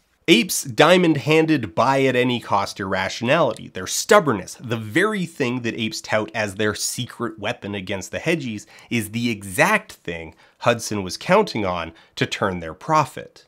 The grim irony is that apes are so predictably irrational in their made up war against hedge funds and short sellers that it leaves them open to all manner of unique and awful exploitation at the hands of hedge funds and short sellers. The irony is so deep you could drown in it. The capital Hudson Bay offered was used to pay down debt. There was nothing left to fix any of the structural problems with the business, so the only thing the deal bought them was time. The Hudson Bay deal was terminated after less than two months as Bed Bath's stock price fell under a dollar and showed no signs of recovery. And through this, the whole time, Apes denied that dilution was happening, denied that it was the cause of the decline in the share price, denied that Hudson Bay Capital was the buyer, mocked the Wall Street Journal's use of inside sources familiar with the matter, and denied that Bed Bath & Beyond was even in the precarious position that Bed Bath was actively warning them of. We need the proceeds from the transactions to pay our outstanding obligations under our credit facilities and senior notes, and to operate our business. And we expect that we will likely file for bankruptcy protection if the transactions are not consummated. The issuance of the securities in this offering will significantly dilute the ownership interest of the existing holders of our common stock, Trading in our securities is highly speculative and poses substantial risks to investors. This is the context in which Heat Lamp is produced, a conspiracy whose every element is reverse engineered to offer a semblance of hope. Critically incurious, Heat Lamp is baseless speculation that squares the circle and explains away the continued failure of apes to crash the global economy after two full years. Okay, so, so, get this. What if? What if we assume the Computershare has an algorithm that manages their operational efficiency, and this algorithm works like a heat lamp in a diner. The algorithm moves shares into the DTCC in anticipation of imminent transactions. So, what Wall Street is doing is rolling up a bus full of people into the parking lot. The staff start making hamburgers and putting them under the heat lamp. But wouldn't you know, the customers are all vegetarian and I guess aren't hungry. So now the DTCC can borrow the hamburgers and use them to create synthetic hamburgers, which can be used to cover Citadel's illegal hamburger sales and then return the counterfeit hamburgers to the diner as if they were the originals. The perfect crime. But this wasn't the part of Heat Lamp that made it stick. That hamburger metaphor was buried inside a 5,000 word rant so incoherent that we can't even pull any usable sound bites. It's just walls of nonsense. The author's prior attempts at sharing this thesis had been met with criticism and mockery, resulting in mods putting the threads in the trash. So the core of Heat Lamp is this beautiful story of self-actualization, as the ape learned that his ideas are important and deserve to be read no matter what anyone tells him. The bulk of Heat Lamp is scathing accusations of censorship through intimidation by the mods, claiming that this banger of a DD is being suppressed by the mods to protect the interests of Computershare and therefore the interests of the enemy. It's full-blown McCarthyism, and that rhetoric is what apes took from Heat Lamp. The ape influencers find themselves more and more in the same dilemma as conservative YouTubers who nurtured fascist audiences. They need to play to the crowd or risk being turned on. During the scripting of this video, Atobitt, one of the key figures in the ape community who you've been seeing constantly, deleted his account in response to harassment brought on by expressing waving faith in the ability of apes to defeat Ken Griffin. Atobitt, like so many DD authors before him, evolved into his final form. U slash deleted. The soap opera conspiracy twists and turns, that's the fun stuff. The really sinister element of all of this is that it's not just socially engaging, it's addictive. Ape forums are littered with statements and sentiments that are stereotypical of gambling addicts. Apes are constantly talking about their plans to buy more, how they wish they could afford more, how they can't wait for their paycheck so they can get more shares of Bed Bath & Beyond. They use contrarian sentiment to justify their habit.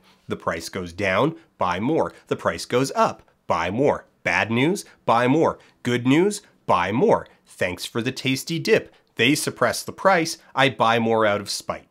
They hide their habit from friends and family, complain that partners try to limit how much GameStop they buy, and brag about going behind their partners' backs. They take money from friends and family while talking up the college degree worth of DD they found on Reddit and pour it all into this slate of poorly run companies that they believe have been elected as the candidate for a mythological short squeeze the entire idea of dollar cost averaging, an actual investment strategy, has been warped into pure delusional cope of averaging down as the stock price keeps plummeting. In their minds, it's a sure play, so of course it makes sense to lower your cost basis and thus improve your return. But even then, within the whole mythology of MOASS, if the stock is supposed to go to phone book numbers, then it really doesn't matter what your average was. It's just an exercise in sunk costs, catching a falling knife. As for me, after holding from 350 to $40, price drops only get me more excited. Every price drop is a discount and another opportunity to buy. The performative aspects are irony poisoned and insincere in a genuinely sickening way. A lot of the ape lore is easily discarded by their podcasters and DD authors because they ultimately know it's not true the hype, the tinfoil, the coincidences, the wife changing money, the Lambos, these are all the social performances needed to maintain the veneer wrapped around the pathetic core of a gambling addiction whose only hope for recovery is recruitment. It's the justification and distancing, the things that need to be true in order for the vast amounts of time, energy, and money dumped into these shares to not be a waste but apes will still always keep one foot grounded, where they can say, oh, of course Teddy Day wasn't going to happen, that was just hype. For fun. The thing that January 2021 demonstrated was that the price can go to the moon for no coherent, sensible, sane reason beyond a bunch of people on a forum willing it into existence by convincing enough other people to believe. And if it happened once, then maybe it can happen again. But that constant doublethink, the constant cognitive dissonance of hyping up knowingly fake ideas purely to maintain energy in a failing stock play, to put on an outward facing performance, to lure in new participants, because if you don't, if you flinch, if the irony armor cracks and you admit out loud that you don't actually believe, then it all falls apart. Reality becomes true, and then it definitely won't happen again. That takes a toll. The illusion must be defended at all costs, because the illusion is all there is.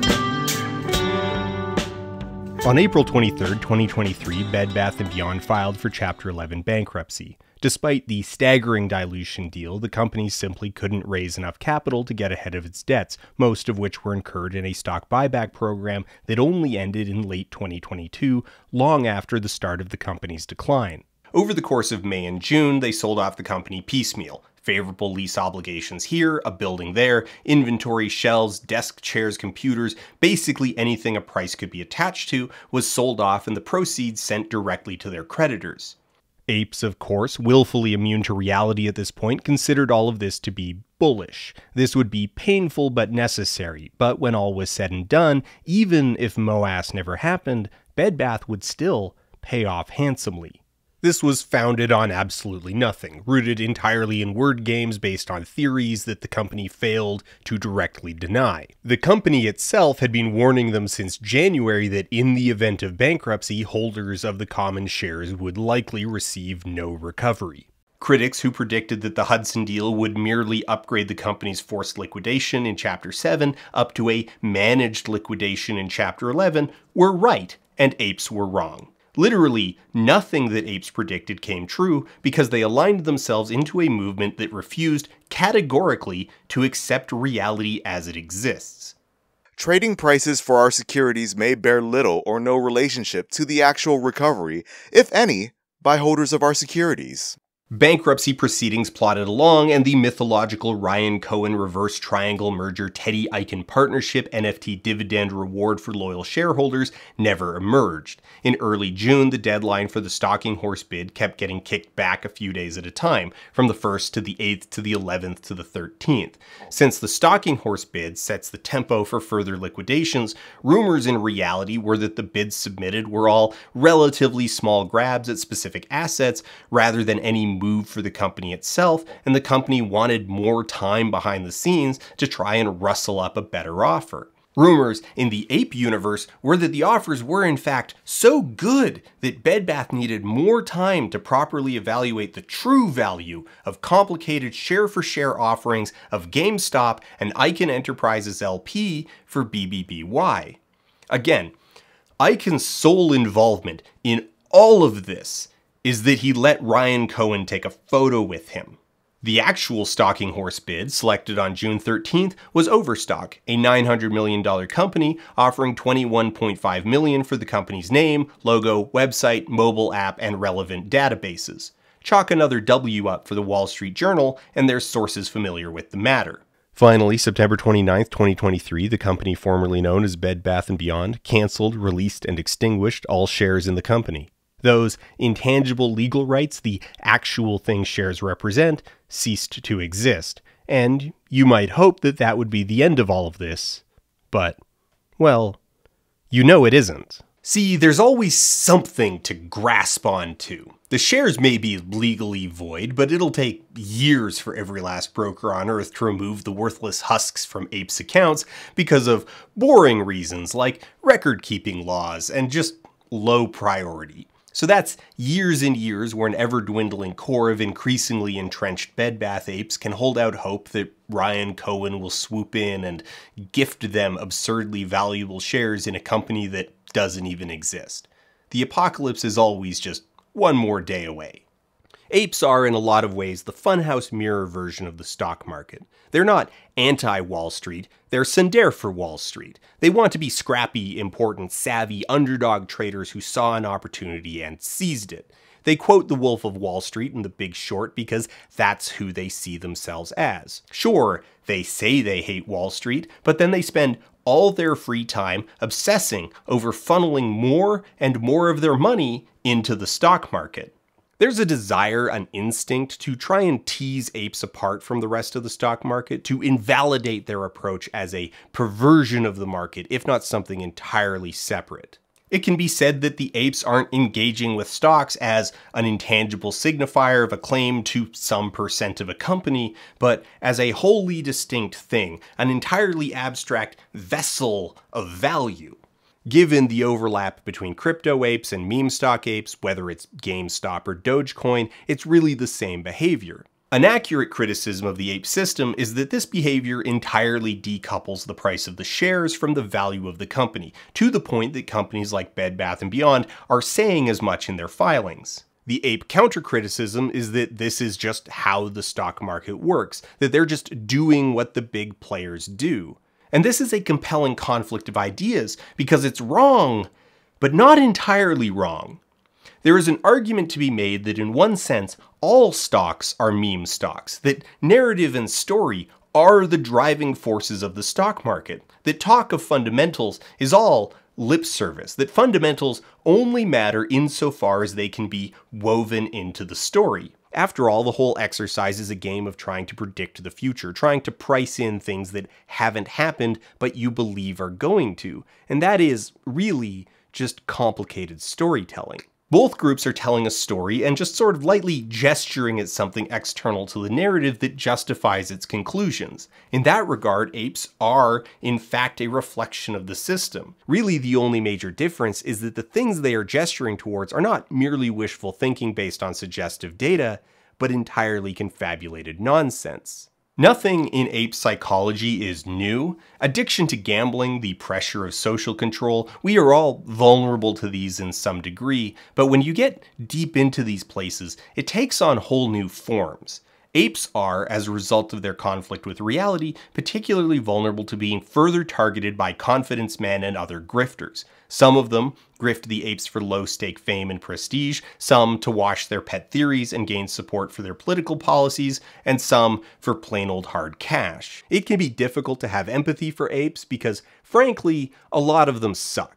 They are conspiratorially minded and thus prone to all sorts of terrible beliefs, many of which dovetail into express anti Semitism, making them ripe for recruitment into even more extreme ideologies. As addicts, they regularly make terrible decisions that hurt others. They talk often about stealing from their spouses or at least hiding their addictions as they spend all the money in the shared account. Many are profoundly unhappy in their relationships, joking through gritted teeth about wife changing money and how much they resent their partners. Of course, it's easy to see how that mutual resentment might form. They lie, they steal, they recruit relentlessly, and they insist that others simply fail to recognize their brilliance.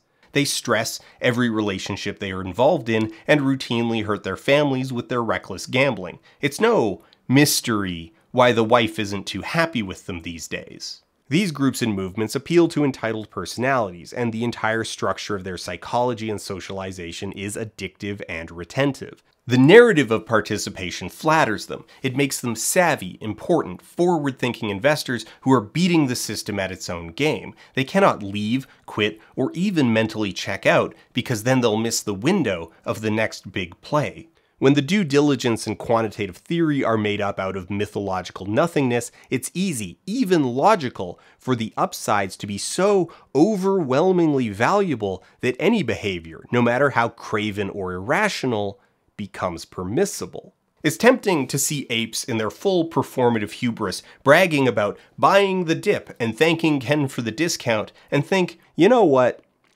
They brought this on themselves. But no one deserves to be exploited like this. No one deserves to get shaken down by grifters to the point that they have no other choice but to become grifters themselves and shake down everyone else around them. No one deserves to have their ego and security ground down to the point that there's no escape, no reason to step back and admit defeat, no reason to reflect. Ironically, the biggest winners in all of this have been hedge funds. Sure, Keith and a few others made bank off the GameStop run, but half of them gambled their gains away. Hedge funds, on the other hand, have been able to play against apes and their predictable irrationality. Melvin ate dirt in 21 and closed up shop in 22, but Citadel started using Wall Street bets as a recruiting ground, and Hudson Bay made a tidy profit by assuming that apes wouldn't just buy and hold through massive dilution, but would outright thank them for the tasty dip. It is, as a phenomenon, an incredibly fraught subject for regulators because just how do you respond to this? Setting aside bigger, broader questions about what markets even should be, how do you respond in the immediate term to a group of investors with enough collective inertia to move prices, but a fundamentally flawed understanding of what they're even doing? The grim irony of ape culture is that it has the operative mechanisms of a gambling addiction without actually gambling.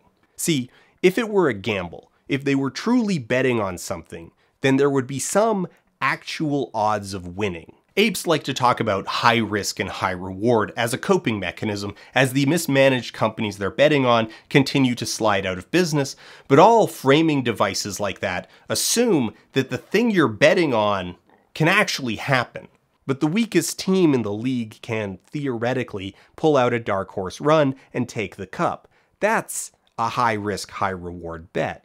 Apes, on the other hand, with their theories of MOASS, with their coincidences and Icahn secret reverse triangle mergers, with their fundamental misunderstanding of how a short sale even works, they're sitting around a blackjack table, convincing each other that there's a secret rule. That if you hit 31, then the dealer has to give you their entire tray. So hit me, hit me, hit me, hit me.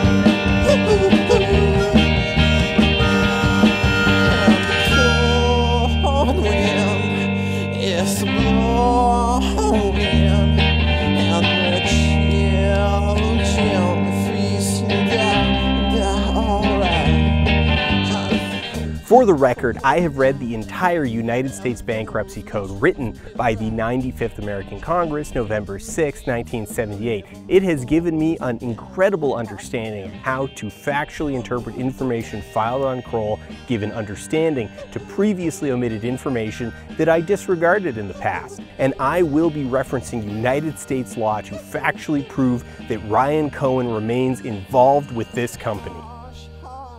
Plus, we clearly have figured out the game these people are playing and have their balls in a vice. If it's not this play, we move on to the next. The honey hole has been exposed. It feels like we're driving backwards really fast at a wall, and just before we hit it, the secret level in Ready Player One is gonna open up and let us pass by the entire race and win. The fact that so many shills spend so much of their time endlessly replying to us, yelling at us to explain what assets are left, how we're soon gonna go to zero. I've never seen so many humans spend so much of their time on something that doesn't concern them, and it's quite bullish. The short hedge fund's biggest mistake, in my opinion, is they tried to burn this company to the ground, which they succeeded, but that's been a known move all along by an activist investor. Know your enemy. Now they are trapped in bankruptcy court, so now apes can buy really low and the upside is so high. If you like this prediction, I also have a free NFT giveaway.